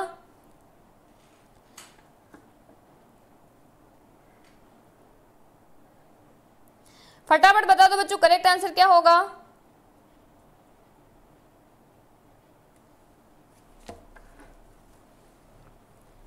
हाँ बिल्कुल। हेमंत लेवंसी ने बिल्कुल करेक्ट आंसर बताया है, बकरी का साइंटिफिक नेम अच्छा साइंटिफिक नेम भी पूछ रहे हैं बच्चे, यहाँ पर एग्ज़ाम के अंदर बिल्कुल सही है। बच्चों, यहाँ पर मैं बच्चों, यदि बात करूँ लेक तो लेक एक प्रकार का क्या है बच्चों? इंसेक्ट है। लेक एक प्रकार का क्या है? इंसेक्ट है तो यहाँ पर इंसेक्ट क्या होता है? एनिमल होता है तो यहाँ पर हमारा करेक्ट आंसर क्या हो जाएगा? एक जंतु उत्पाद हो जाएगा। क्या हो जाएगा? जंतु उत्पाद हो जाएगा। फ़र्स्ट जो है, हमारा करेक्ट आंसर हो जाएगा। फिर देखिए बच्चों नेक्स्ट क्वेश्चन मलेरिया नियंत्रण में उपयोगी मछली है fish use in malaria control is पहला है गेम्बुशिया सेकंड है रोहू थर्ड है बच्चों ट्राउट आपको बताना है कि कौन कौन सी मछलियाँ जो है, ये मलेरिया नियंत्रण में होती है तो आपको पता है गेम्बुशिया का यूज़ होता है ट्राउट का यूज़ होता है. तो करेक्ट आंसर क्या कौन सा हो जाएगा बच्चों? थर्ड हो जाएगा, यानी कि ए एंड सी क्या हो जाएगा? ए एंड सी हो जाएगा. फिर नेक्स्ट है कि निम्न में से कौन सा एक वास्तविक फल है तो केला नहीं है. सेब भी नहीं है, बच्चों, यहाँ पर नाशपति जो है, ये क्या होता है ट्रू फल होता है, यानी कि जिसमें ओव्यूल से सीड बनते हैं बीजाण से बीज बनते हैं, बच्चों, अंडाशय से फल बनते हैं, वो क्या होता है ट्रू फल होता है करेक्ट आंसर हो जाएगा, हमारा थर्ड क्या हो जाएगा? थर्ड जो है, ये हमारा करेक्ट आंसर हो जाएगा। बच्चों नेक्स्ट है कि एपिस इंडिका क्या है? एपिस इंडिका इज़ है रेशम का कीट है सिल्क वर्म है, या फिर लाख का कीट है, या फिर पर्ल है, या फिर मधुमक्खी है। एपिस इंडिका क्या है? फटाफट से बता दो एपिस इंडिका क्या है, बच्चों? फटाफट से बता दो। यदि मैं आपसे बात करूँ अच्छा क्यों नहीं मिला? तो आपने बात नहीं किया क्या सर से? आपने बात नहीं किया क्या बच्चे? एक बार बात कर लेना सर से ना। मिल जाएगा, कोई दिक्कत नहीं है। यहाँ पर एपिसिंडिका जो है बच्चों, ये क्या है? एपिसिंडिका जो है, ये क्या है? रेशम कीट है या फिर लाख का कीट है या फिर मधुमक्खी है? इसका आंसर क्या हो जाएगा बच्चों? फोर्थ हो जाएगा। क्या हो जाएगा? फोर्थ जो है वो करेक्ट आंसर हो जाएगा। फिर देखिए नेक्स्ट क्वेश्चन क्वेश्चन हमारा है कि किसको प्राकृतिक खाद का कारखाना बोलते हैं? तो आपको पता है किसको बोलते हैं? हम अर्थवर्म को बोलते हैं। किसको बोलते हैं? अर्थवर्म को बोलते हैं। करेक्ट आंसर हो जाएगा हमारा। फिर बच्चों देखिए नेक्स्ट क्वेश्चन निम्नलिखित में से कौन सा एक धातु नहीं है?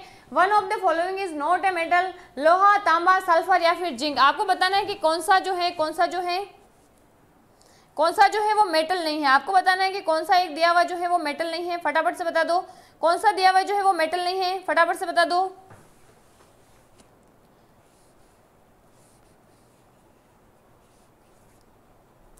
देखिए, यदि मैं बात करूँ तो लोहा भी धातु है, तांबा भी धातु है, बच्चों, जिंक भी धातु है तो करेक्ट आंसर क्या हो जाएगा? हमारा करेक्ट आंसर हो जाएगा थर्ड क्या हो जाएगा? थर्ड जो है, हमारा करेक्ट आंसर क्या हो जाएगा, बच्चों? हमारा करेक्ट आंसर हो जाएगा यहाँ पर थर्ड क्या हो जाएगा? थर्ड जो है, ये हमारा करेक्ट आंसर हो जाएगा। ये फोर्थ ऑप्शन कहाँ आ रहे हैं आप लोगों के? अरे डी नहीं होगा बेटा, जिंक जो है ये एक मेटल है। यहाँ पर सल्फ़र जो है ये नॉन मेटल है और आपको पता है सल्फ़र जो है बच्चों ये एस एट के रूप में पाया जाता है। सल्फ़र जो है ये किस रूप में पाया जाता है? एस एट के रूप में पाया जाता है। इसकी सबसे ज़्यादा क्या होती है? परमाणु का होती है। ठीक है? सबसे ज़्यादा जो है वेरी गुड किसी अम्ल की, किसी अम्ल की एच प्लस आयन की सांद्रता दस की घात माइनस चार है तो पीएच क्या होगा? बहुत बढ़िया क्वेश्चन है। बहुत आसान क्वेश्चन है बच्चों, देखिए। आपका कमेंट देख लेती हूँ। आपको दिया हुआ है कि किसी अम्ल के H प्लस आयन की सांद्रता। बच्चों आपको दिया हुआ है H प्लस आयन की सांद्रता। H प्लस आयन की सांद्रता डी वी आपको दस की घात माइनस चार। तो आपको मैंने बताया होगा आई थिंक जब हमारी मैराथन क्लासेस चल, चली थी या फिर वैसे भी मैंने आपको बताया था कि बच्चों हाइड्रोजन आयन की सांद्रता हमको दे रखी है तो हम पीएच कैसे निकालेंगे? तो पीएच होता है माइनस लोग एच प्लस क्या होता है। माइनस लोग एच प्लस होता है बच्चों, यहाँ पर आपको दे रखा है माइनस लोग एच प्लस की सांद्रता। इस ब्रैकेट की हमको क्या शो करता है? ये कंसंट्रेशन को शो करता है। यहाँ पर दस की घात माइनस चार हो जाएगा। आपको पता है कि ये चार जो है, जब आगे आएगा तो माइनस और माइनस फोर और बच्चों लोग क्या हो जाएगा? टेन हो जाएगा। और लोग टेन की बेस टेन जो है, इसका मान तो क्या हो जाएगा बच्चों? वन हो जाएगा और माइनस माइनस क्या हो जाएगा? प्लस हो जाएगा। तो यहाँ पर हमारी पीएच का मान कितना आ जाएगा बच्चों? फोर आ जाएगा। क्या आ जाएगा? फोर जो है, वो हमारी पीएच का मान आ जाएगा। करेक्ट तो यहाँ पर आप जो क्वेश्चन बोल रहे थे बच्चों, उसका आंसर ये वाला होगा। फिर नेक्स्ट है कि सीसा पेंसिल में शीशे की प्रतिशत मात्रा होती है। बहुत अच्छा क्वेश्चन है। Percentage of lead in lead pencil is zero percent यानी कि शून्य या फोर्टी परसेंट एटी परसेंट या फिर हंड्रेड परसेंट कितना होता है? फटाफट बता दो, फटाफट बता दो।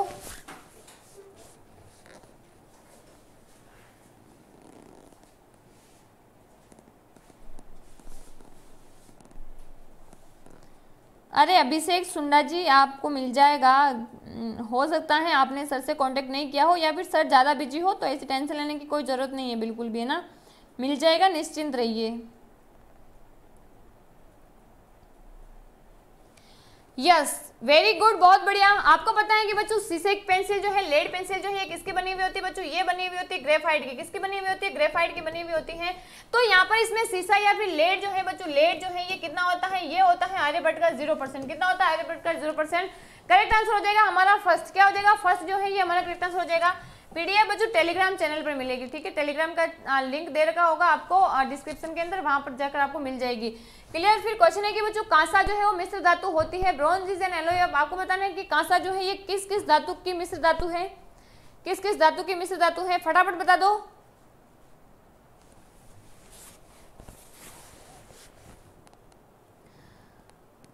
मैं भी आपसे बात करूँ बच्चों। एक हमारे पास होता है ब्रास, एक हमारे पास क्या होता है ब्रास? इसको हम क्या बोलते हैं? पितल बोलते हैं। इसको हम क्या बोलते हैं? पितल बोलते हैं। बच्चों पितल में क्या होता है? तांबा और जिंक होता है। क्या होता है? तांबा और जिंक होता है। एक हमारे पास होता है ब्रॉन्ज क्या होता है? ब्रॉन्ज जिसको हम क्या बोलते हैं? कांसा बोलते हैं। बच्चों, इसमें क्या होता है? कॉपर और टिन होता है। कॉपर और टिन होता है।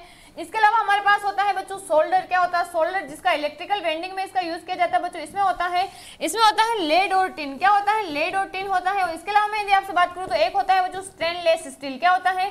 स्टेनलेस स्टील होता है स्टेनलेस बच्चों स्टील होता है और इसमें क्या क्या होता है? इसमें होता है आयरन इसमें होता है बच्चों क्रोमियम इसमें होता है निकल ठीक है? क्या क्या होता है? आयरन क्रोमियम और निकल होते हैं, ये सारे के सारे आपको याद रखना है। तो यहाँ पर मैं बात करूँ तो बच्चों ब्रॉन्ज में क्या होता है? ब्रॉन्ज में कॉपर और टिन होते हैं। क्या होता है? कॉपर एंड टिन होते हैं। तो करेक्ट आंसर क्या हो जाएगा? सेकंड जो है, ये हमारा करेक्ट आंसर हो जाएगा। फिर देखिए बच्चों नेक्स्ट क्वेश्चन क्वेश्चन है कि एक मिश्र धातु है। आपको पता है कि मिश्र धातु जो है बच्चों, हम मैं यदि आपसे बात करूँ अलोई की तो अलोई क्या है? अलोई जो है बच्चों, ये एक प्रकार का क्या है? मिक्सचर है। एक प्रकार का क्या है? मिक्सचर है। और मिक्सचर आपको पता है दो टाइप के होते हैं होमोजीनियस एंड हेट्रोजीनियस कौन सा होता है? होमोजीनियस नो सिग्नल क्या बात कर दी? नो सिग्नल आ रहा है, अब नहीं आएगा, ठीक है? ब्लैक ब्लैक ज़िंदगी का काला अध्याय। 28 तारीख, अरे बच्चों, आज साइंस डे भी तो है, मैं तो भूल ही गई थी। हाँ बहुत बढ़िया। धीरज कुमार मेरा पढ़ाया हुआ एक भी एग्ज़ाम में क्वेश्चन नहीं आया तो। वेरी गुड बहुत बढ़िया ठीक है? और कुछ? यस yes, तो हम बात करें बच्चों। यदि हम बात करते हैं तो यहाँ पर अलोय जो है, ये एक मिक्सर है और मिक्सर दो प्रकार के होते हैं। तो अलोय जो है बच्चों, ये एक प्रकार का कौन सा मिक्सर है? ये है बच्चों होमोजीनियस मिक्सचर कौन सा मिक्सचर है? ये होमोजीनियस मिक्सचर है क्लियर तो यहाँ पर हमारा करेक्ट आंसर क्या हो जाएगा? ए होमोजीनियस मिक्सचर क्या हो जाएगा? एक सामान्य मिश्रण हो जाएगा। तो थर्ड जो है, ये हमारा करेक्ट आंसर हो जाएगा, ठीक है? थर्ड जो है, ये हमारा करेक्ट आंसर हो जाएगा। ये अब वाला क्वेश्चन समझ में नहीं आ रहा है। अब वाला क्वेश्चन समझ में नहीं आ रहा। प्लीज़ सही से टाइप करके भेजे। हार्ड के नहीं समझ में आ रहा है, ठीक है?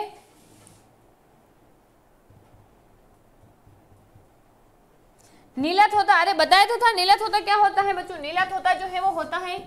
नीला थोता जो है वो क्या होता है? नीला थोता बच्चों copper sulphate copper sulphate dot five S two जो है, इसी को हम क्या बोलते हैं? नीला थोता बोलते हैं क्लियर तो बताया है, बिल्कुल। अब बहुत सारे बोल रहे हैं कि, बहुत सारे बोल रहे हैं कि क्वेश्चन नहीं आए वो, इसलिए क्योंकि आप सोचो कि मैं दो तीन दिन की क्लास से सारे क्वेश्चन आ जाए तो इम्पॉसिबल है, ठीक है? ऐसा नहीं होता, बच्चों प्रॉपर सारी क्लासेस अटेंड करनी पड़ती हैं। तो करेक्ट आंसर हो जाएगा, हमारा थर्ड क्या हो जाएगा? नेक्स्ट है कि एक संयोजकता वाले तत्व कौन से होते हैं? आपको पता है, धातु भी हो सकती है धातु भी हो सकती है तो थर्ड जो है वो हमारा करेक्ट आंसर हो जाएगा। नेक्स्ट है, कोशिका की खोज सबसे पहले किसने की थी? तो बच्चों, कोशिका की खोज किसने की थी? रॉबर्ट हुक ने की थी। आप सबको पता है, फोर्थ जो है वो करेक्ट आंसर हो जाएगा। फिर एक कांसा जो है मिश्र धातु होती है रिपीट हो गया क्वेश्चन तांबा और टिन का होता है, किससे मिलकर बनी होती है? तांबा और टिन की बनी होती है। बच्चों, एक मिश्र धातु जो है, ये क्या है? एक समांगी मिश्रण है, एक प्रकार का क्या है? समांगी मिश्रण है। और फिर मैं यदि आपसे बात करूँ तो अरे यार क्वेश्चन रिपीट कहाँ हो? हैं धातु और अधातु जो है वो इसका करेक्ट आंसर हो जाएगा। यस अब क्वेश्चन है कि एक मनुष्य में 44 प्लस 100 गुणसूत्र पाए जाते हैं तो ये किसको बताते हैं बच्चों? ये बताते हैं टर्नर सिंड्रोम को। किसको बताते हैं? 44 प्लस 100 जो है 44 प्लस 100 जो है, ये किसको बताते हैं बच्चों? ये बताते हैं टर्नर सिंड्रोम को। किसको बताते हैं टर्नर सिंड्रोम को? तो फ़र्स्ट जो है, ये हमारा करेक्ट आंसर हो जाएगा। फिर आपको बताएँ कि फिनोक्सिलिन जो है शारी मध्य में गोल को किस रंग में बदलता है बच्चों? ये बदलता है पिंक कलर में। किसमें बदलता है? गुलाबी में बदलता है। तो फ़र्स्ट जो है, ये हमारा करेक्ट आंसर हो जाएगा। फिर नेक्स्ट है बच्चों, अम्ल की धातु के साथ अभिक्रिया करने पर कौन सी गैस मुक्त होती है? तो आप सब लोग जो है, ज्ञानी है, आप सबको पता है कौन सी गैस मुक्त होती है? हाइड्रोजन गैस जो है, ये मुक्त होती है। जैसे मैं बात करूँ बच्चों, जिंक की एच से अभिक्रिया करवाने पर डायल्यूट एच से रिएक्शन करवाने पर क्या बनता है? Z N C L two बनता है, साथ में क्या बनती है बच्चों? हाइड्रोजन बनती है। तो यहाँ पर कौन सी गैस रिलीज़ हो रही है? हाइड्रोजन गैस रिलीज़ हो रही है। करेक्ट आंसर हो जाएगा बच्चों, हाइड्रोजन गैस। कौन सा हो जाएगा? हाइड्रोजन गैस जो है, वो करेक्ट आंसर हो जाएगा। नेक्स्ट बच्चों बेकिंग सोडा को किस नाम से जानते हैं? तो आपको पता है, इसको हम सोडियम बाइकार्बोनेट या फिर सोडियम हाइड्रोजन कार्बोनेट के नाम से भी जानते हैं। फिर नेक्स्ट है प्लास्टर और पेस्ट का सूत्र क्या है? तो जब हम जिप्सम को गर्म करते हैं C S O four dot two S two को तो क्या प्राप्त होता है? जिप्सम प्राप्त होता है। करेक्ट आंसर हो जाएगा बच्चों C S O four dot half S two क्या हो जाएगा? C S O four dot half S two प्रबल अम्ल कौन सा है? आपको मैंने करवा रखा है। क्या होता है बच्चों? नाइट्रिक अम्ल होता है। क्या होता है? एच एन ओ थ्री होता है। क्लियर फिर देखिए बच्चों नेक्स्ट क्वेश्चन है ब्लीचिंग पाउडर का इस्तेमाल नहीं होता है तो आपको पता है खाद्य चीज़ों के परिरक्षण में नहीं होता है।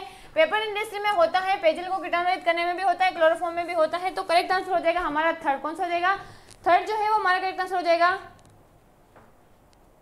वेरी गुड नेक्स्ट है, अम्ल क्षार के साथ अभिक्रिया करके लवण और पानी बनाता है। इस अभिक्रिया को क्या बोलते हैं बच्चों? इस अभिक्रिया को हम बोलते हैं उदासीनीकरण अभिक्रिया। इस अभिक्रिया को क्या बोलते हैं? उदासीनीकरण अभिक्रिया बोलते हैं। फिर नेक्स्ट है बच्चों हमारा। नेक्स्ट क्वेश्चन हमारा है कि अपमार्जक किसके होते हैं? तो मैंने आपको करवा रखे हैं। सल्फोनिक एसिड के क्या होते हैं? सोडियम लवण होते हैं। सल्फोनिक एसिड के क्या होते हैं? सोडियम लवण होते हैं। फिर नेक्स्ट है कि पारदर्शी साबुन बनाने में किसका यूज़ होता है? बच्चों पारदर्शी साबुन बनाने में एथेनॉल का यूज़ होता है, ठीक है? एथेनॉल का यूज़ होता है। नेक्स्ट क्वेश्चन है कि बच्चों, निम्न में से कौन सा नाइट्रोजन स्टार डीएनए से संबंधित नहीं है। डीएनए से संबंधित नहीं है। कौन सा डीएनए से संबंधित नहीं है? धीरज कुमार जी। धीरज कुमार जी, यहाँ पर क्वेश्चंस जो हैं वो टफ ही आते हैं, ठीक है ना? हाँ मैं बहुत इजी क्वेश्चन करवाती हूँ। एक्चुअली इजी इसलिए करवाते हैं क्योंकि सब करवा रखा है तो इसलिए इजी लगता है, ठीक है? लेवल बढ़ भी सकता है, जो मैं पढ़ा रही हूँ, उसका लेवल बढ़ भी तो सकता है ना? अब मैंने आपको प्रतिरोध, प्रतिरोधकता, लंबाई, क्षेत्रफल, उनका संबंध बता रखा है। तो बच्चा, इतना दिमाग तो खुद को चलाना पड़ेगा ना कि ये सूत्र हमको लगाना है। ये सूत्र हमको लगाना है तो ये सूत्र तो ये दिमाग तो आप में होना चाहिए ना? या फिर ये मैं आके क्लासरूम में बताऊँगी, वहाँ पर क्लास लूँगी आप लोगों की कि बच्चों, ये वाला सूत्र लगाओ। हाँ? ऐसा नहीं होता है, ठीक है? थोड़ी मेहनत हमको भी करनी पड़ती है। थोड़ी मेहनत हमको भी करनी पड़ती है। क्लियर यस तो क्या होगा? क्या होगा बच्चों? आपको पता ना कि डीएनए से संबंधित नहीं है तो आपको पता है कि यदि मैं नाइट्रोजन क्षार की बात करूँ, यदि मैं नाइट्रोजन बेसिस की बात करूँ तो बच्चों, ये डीएनए में भी होते हैं आरएनए में भी होते हैं, ठीक है? डीएनए में भी होते हैं बच्चों डी ऑक्सी राइबोन्यूक्लिक अम्ल इसके अलावा राइबोन्यूक्लिक अम्ल दोनों में होते हैं। दोनों को सम्मिलित रूप से हम क्या बोलते हैं? दोनों को सम्मिलित रूप से हम बोलते हैं न्यूक्लिक एसिड दोनों को सम्मिलित रूप से हम क्या बोलते हैं? दोनों को सम्मिलित रूप से हम बोलते हैं न्यूक्लिक एसिड बच्चों, यहाँ पर डीएनए जो है, इसमें प्यूरिन जो होता है, वो एडेनिन होता है बच्चों, इसके अलावा क्या होता है? इसमें ग्वानिन होता है। पिरमिडिन की मैं बात करूँ तो बच्चों, इसमें साइडोसिन होता है, इसके अलावा कौन सा होता है? थाइमिन होता है? कौन सा होता है? थाइमिन होता है। अब इसके अलावा मैं यदि आपसे बात करूँ बच्चों आरएनए में तो आरएनए में क्या होता है? एडेनिन होता है ग्वानिन होता है साइटोसिन होता है, इसके अलावा थाइमिन के स्थान पर क्या होता है? यूरेसिल होता है। आपको पूछा है कि डीएनए से संबंधित नहीं है। डीएनए से संबंधित कौन सा नहीं बच्चों? यूरेसिल जो है वो आरएनए से संबंधित है तो करेक्ट आंसर क्या हो जाएगा? सेकंड जो है, ये हमारा करेक्ट आंसर हो जाएगा, ठीक है?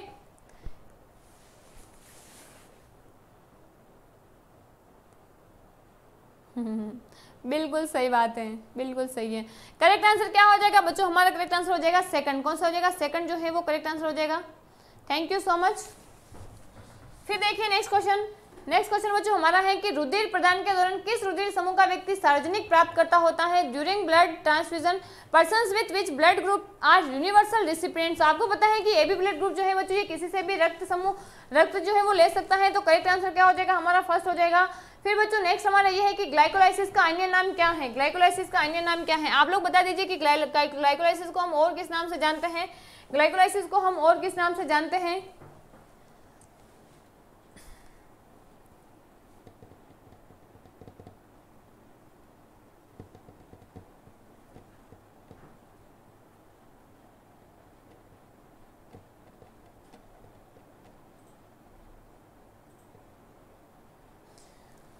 बता दो फटाफट से, मैं यदि आपसे बात करूँ। तो बच्चों, श्वसन में पहला प्रोसेस होता है, श्वसन के अंदर पहला प्रक्रम होता है, जिसका नाम है ग्लाइकोलाइसिस क्या है glycolysis glycolysis glycolysis clear glycolysis अब बच्चों, में यदि बात करूँ तो इसमें क्या होता है? ग्लाइकोलाइसिस को तीन साइंटिस्ट ने दिया था, तीन साइंटिस्ट ने दिया था बच्चों।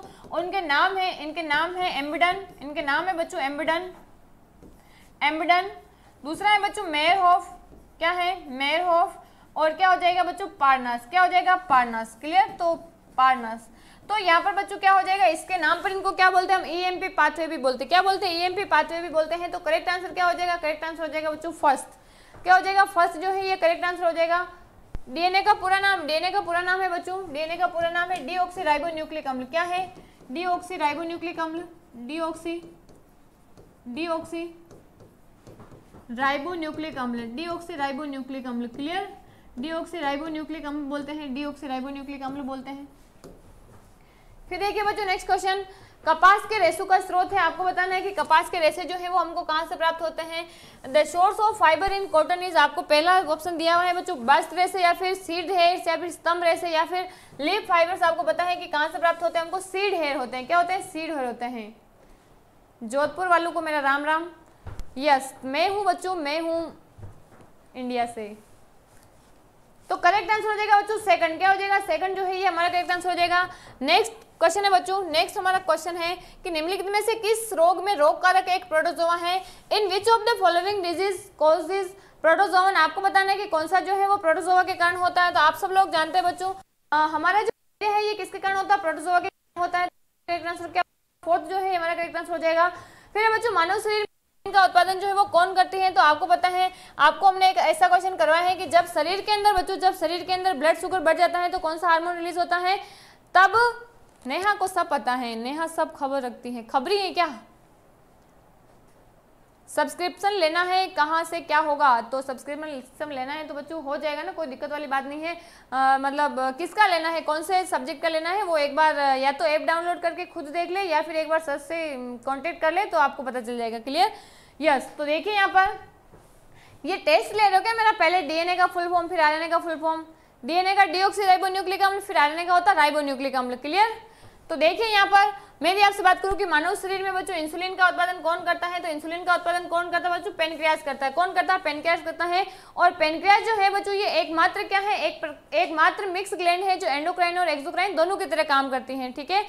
एक्सोक्राइन और एंडोक्राइन दोनों की तरह काम करती है। फिर देखिए बच्चों नेक्स्ट क्वेश्चन नेक्स्ट क्वेश्चन की मैं यदि आपसे बात करूँ।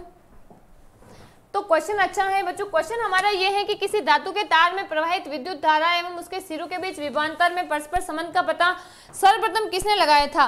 बहुत आसान है, मैंने आपको पढ़ाया था ओम स्लो मैंने आपको क्या पढ़ाया था बच्चों? ओम स्लो पढ़ाया था, जिसमें देखो यहाँ पर the relationship current flowing in the relationship current flowing in metallic wire and potential difference across the its end was first of all given by आपको बताना है कि ये जो वोल्ट है वोल्टेज है बच्चों, ये जो धारा प्रवाहित हो रही है, इनके बीच में समन जो है, ये किसने बताया था? तो ये समन जो है, बताया था। ग्लेन से भी आया था। क्या क्वेश्चन आया था? फटाफट से लिख के बताओ।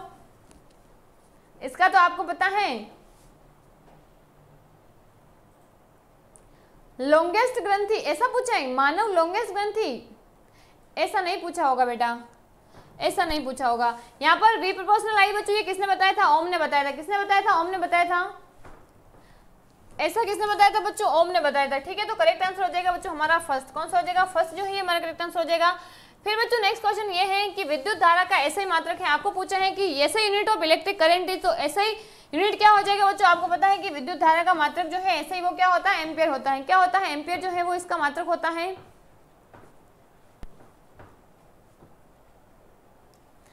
तो यहाँ पर करेक्ट आंसर हो जाएगा जो हमारा सेकंड कौन सा हो जाएगा? सेकंड जो है, ये हमारा करेक्ट आंसर हो जाएगा। बच्चों नेक्स्ट क्वेश्चन है कि परिवर्तन के नियमानुसार क्या होता है? परिवर्तन के नियमानुसार क्या होता है? ये आपको बताना है। तो देखिए यहाँ पर according to laws of reflection पहला है आपतन कोण, परावर्तन कोण के बराबर होता है या फिर चार गुना होता है, दुगुना होता है या आधा होता है? तो आप सबको पता है कि angle of incidence is always equal to the angle of reflection ठीक है? तो आपतन कोण का मान जो है वो परावर्तन कोण के क्या होता है? परावर्तन कोण के क्या होता है बच्चों? बराबर होता है। तो यहाँ पर हमारा करेक्ट आंसर क्या हो जाएगा? यहाँ पर हमारा करेक्ट आंसर क्या हो जाएगा बच्चों? यहाँ पर हमारा करेक्ट आंसर हो जाएगा फ़र्स्ट क्या हो जाएगा? फ़र्स्ट जो है हमारा करेक्ट आंसर हो जाएगा। फिर देखिए बच्चों नेक्स्ट क्वेश्चन नेक्स्ट क्वेश्चन की मैं आपसे बात करूँ। तो उत्तल दर्पण काम में लिए जाते हैं। आपको बताना है कि convex mirror are use in बच्चों, हमारी लगभग तीन पैंतालीस सॉरी आठ पैंतालीस तक क्लास चलेगी। देन पंद्रह मिनट तक आपकी जो भी प्रॉब्लम है, वो मैं सुनूँगी। देन हमारे जो कल के क्वेश्चन आएँगे, उसी पे बेस्ड होंगे, ठीक है? आप लोग बताएँगे मुझे कि आपको किस तरह की रिक्वायरमेंट है क्लास की? तो मैं कल के जो शेड्यूल में हमारे क्वेश्चंस रहेंगे, वो उसी पर बेस्ड रहेंगे, ठीक है? तो लगातार 10 मिनट तक बने रहिए, फिर मैं आपकी प्रॉब्लम भी सुनूँगी। जब तक आप आंसर देते रहिए। बच्चों, यदि हम बात करते हैं उत्तल दर्पण काम में लिए जाते हैं convex mirror are use in पहला है टॉर्च में, दूसरा है वाहन की हेडलाइट में व्हीकल हेडलाइट तीसरा है बच्चों सेविंग दर्पण के रूप में, चौथा है वाहनों के पीछे का दृश्य दर्पणों के रूप में। तो आपको पता है कि उत्तल दर्पण हम कहाँ पर काम में लेते हैं? उत्तल दर्पण हम कहाँ पर काम में लेते हैं? फटाफट से कमेंट करके बता दो। फटाफट से बता दो इसका आंसर उत्तल दर्पण कहाँ पर काम में लेते हैं? उत्तल दर्पण का मतलब आपको ये समझना है कि बच्चों, ये अवतल लेंस के समान काम करते हैं। अवतल लेंस के समान काम करते हैं और बच्चों जो अवतल लेंस होता है, उससे प्रतिबिंब जो है वो कैसा बनता है बच्चों? सीधा बनता है और आभासी बनता है। सीधा और कैसा बनता है? आभासी बनता है। तो आप देख लो यहाँ पर।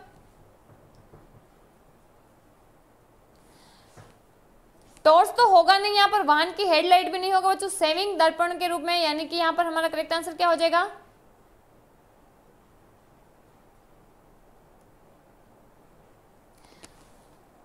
करेक्ट आंसर क्या हो जाएगा? फटाफट बता दो, फटाफट से बता दो यहाँ पर।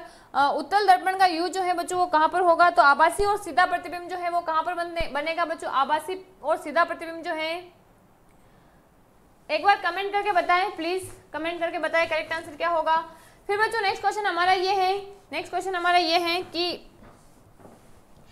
एक गटरा पेशी डायफ्राम जो मानव नेत्र में पुतली के साइज़ को नियंत्रित करता है, क्या कहलाता है? A dark muscular diaphragm in the human eye that control the size of pupil is called आपको पता है कि हमारी आँख के आकार को कौन नियंत्रित करता है? तो बच्चों, वो करता है आयरिस। कौन करता है आयरिस जो है वो नियंत्रित करता है? तो करेक्ट आंसर क्या हो जाएगा? बच्चों, हमारा करेक्ट आंसर हो जाएगा फ़र्स्ट क्या हो जाएगा? फ़र्स्ट जो है हमारा करेक्ट आंसर हो जाएगा। फिर देखिए बच्चों नेक्स्ट क्वेश्चन क्वेश्चन हमारा ये है कि अवतल लेंस के द्वारा बना प्रतिबिंब होता है? अवतल लेंस के द्वारा बना प्रतिबिंब होता है? फटाफट से बता दो, फटाफट से बता दो। मैंने आपको बताया कि अवतल लेंस देखो उत्तर लेंस से प्रतिबिंब, आपको पता हमारी आँख में उत्तर लेंस होता है, वास्तविक और उल्टा प्रतिबिंब प्राप्त होता है। यदि अवतल लेंस है तो प्रतिबिंब जो है बच्चों, वो कैसा होगा? आभासी होगा, लेकिन सीधा होगा, और वस्तु से क्या होगा बच्चों? क्या होगा? छोटा होगा। क्या होगा? छोटा होगा। तो सीधा नहीं होगा, सीधा नहीं होगा बच्चों। वास्तविक में नहीं होता है। फिर कह रहा है सीधा आभासी और अनावर्धित। मैग्नीफाइड है ना, ये आवर्धित है यहाँ पर। और फिर कह रहे हैं कि सीधा आभासी और साइज़ में बिंदु से छोटा तो क्या होगा? फटाफट से कमेंट कर दो, फटाफट से कमेंट कर दो कि यहाँ पर किस प्रकार का जो है, बच्चों, यहाँ पर किस प्रकार का जो है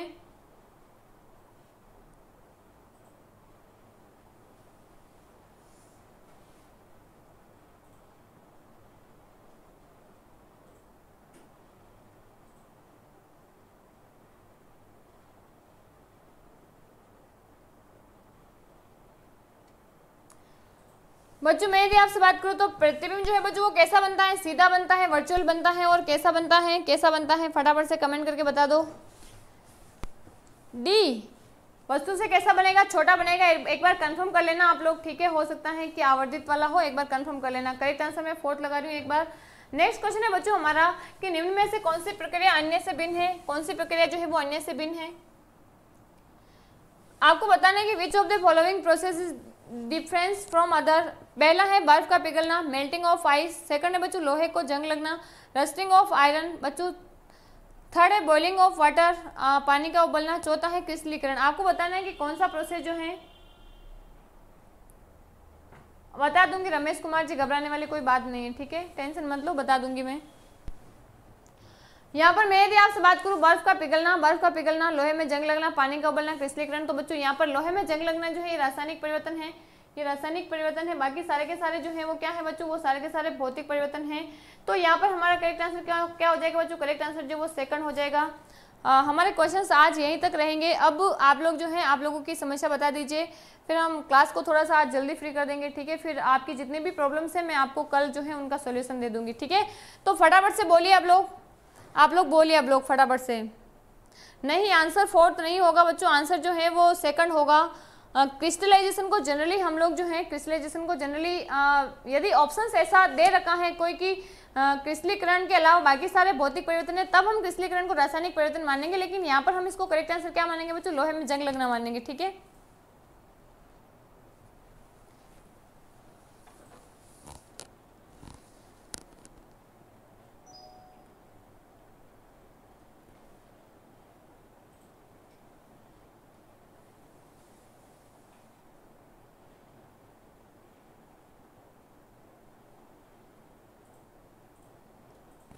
क्या हुआ? अब आपकी प्रॉब्लम्स कहाँ गई सारी की सारी?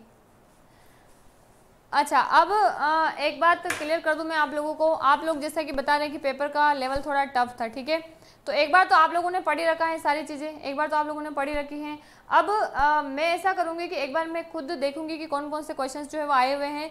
और देन फिर कल जो हमारा सेशन रहेगा बच्चों वो उसी पर बेस्ड रहेगा और मैं उसमें ज़्यादातर आप लोगों के लिए न्यूमेरिकल्स लेकर आऊँगी ठीक है?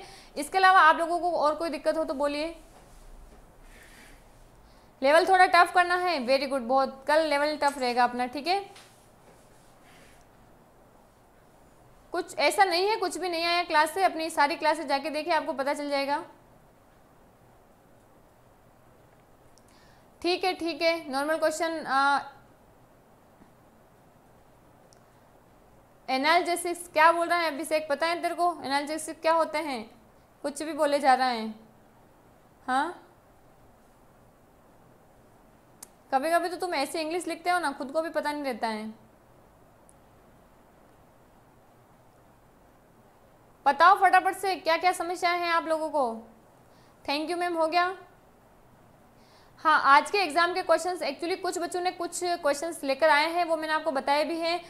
बाकी मैं खुद एक बार देखूँगी, आप लोगों, आप लोग बताते तो हो नहीं क्वेश्चन को आधा अधूरा बताते हो, फिर कहते हैं कि मैम ये भी ऑप्शन था, वो भी ऑप्शन था। एक्चुअली आप यदि क्वेश्चन में गड़बड़ कर दोगे तो फिर आंसर तो इधर उधर होगा ही ना। इधर उधर होगा ही ना, बिल्कुल होगा। लेवल टफ था, मैं चेक कर लूँगी। कल अब हमारी जो नेक्स्ट क्लासेस होगी, वो उसी पर बेस्ड होगी तो टेंशन लेने की कोई ज़रूरत नहीं है। लाइव क्लास हमारी हमेशा ही शाम को ही रहेगी, सात बजे रहेगी, ठीक है? और कोई दिक्कत है? चलो, आज के लिए इतना ही। मैं खुद पेपर को एनालिसिस करूँगी बच्चों, और उस पर बेस्ट जो है हमारे कल की क्लास होगी, ताकि आगे आने वाले जो पेपर्स है बच्चों के, वो अच्छे से हो सके। आज के लिए इतना ही। Thank you so much good night सभी को।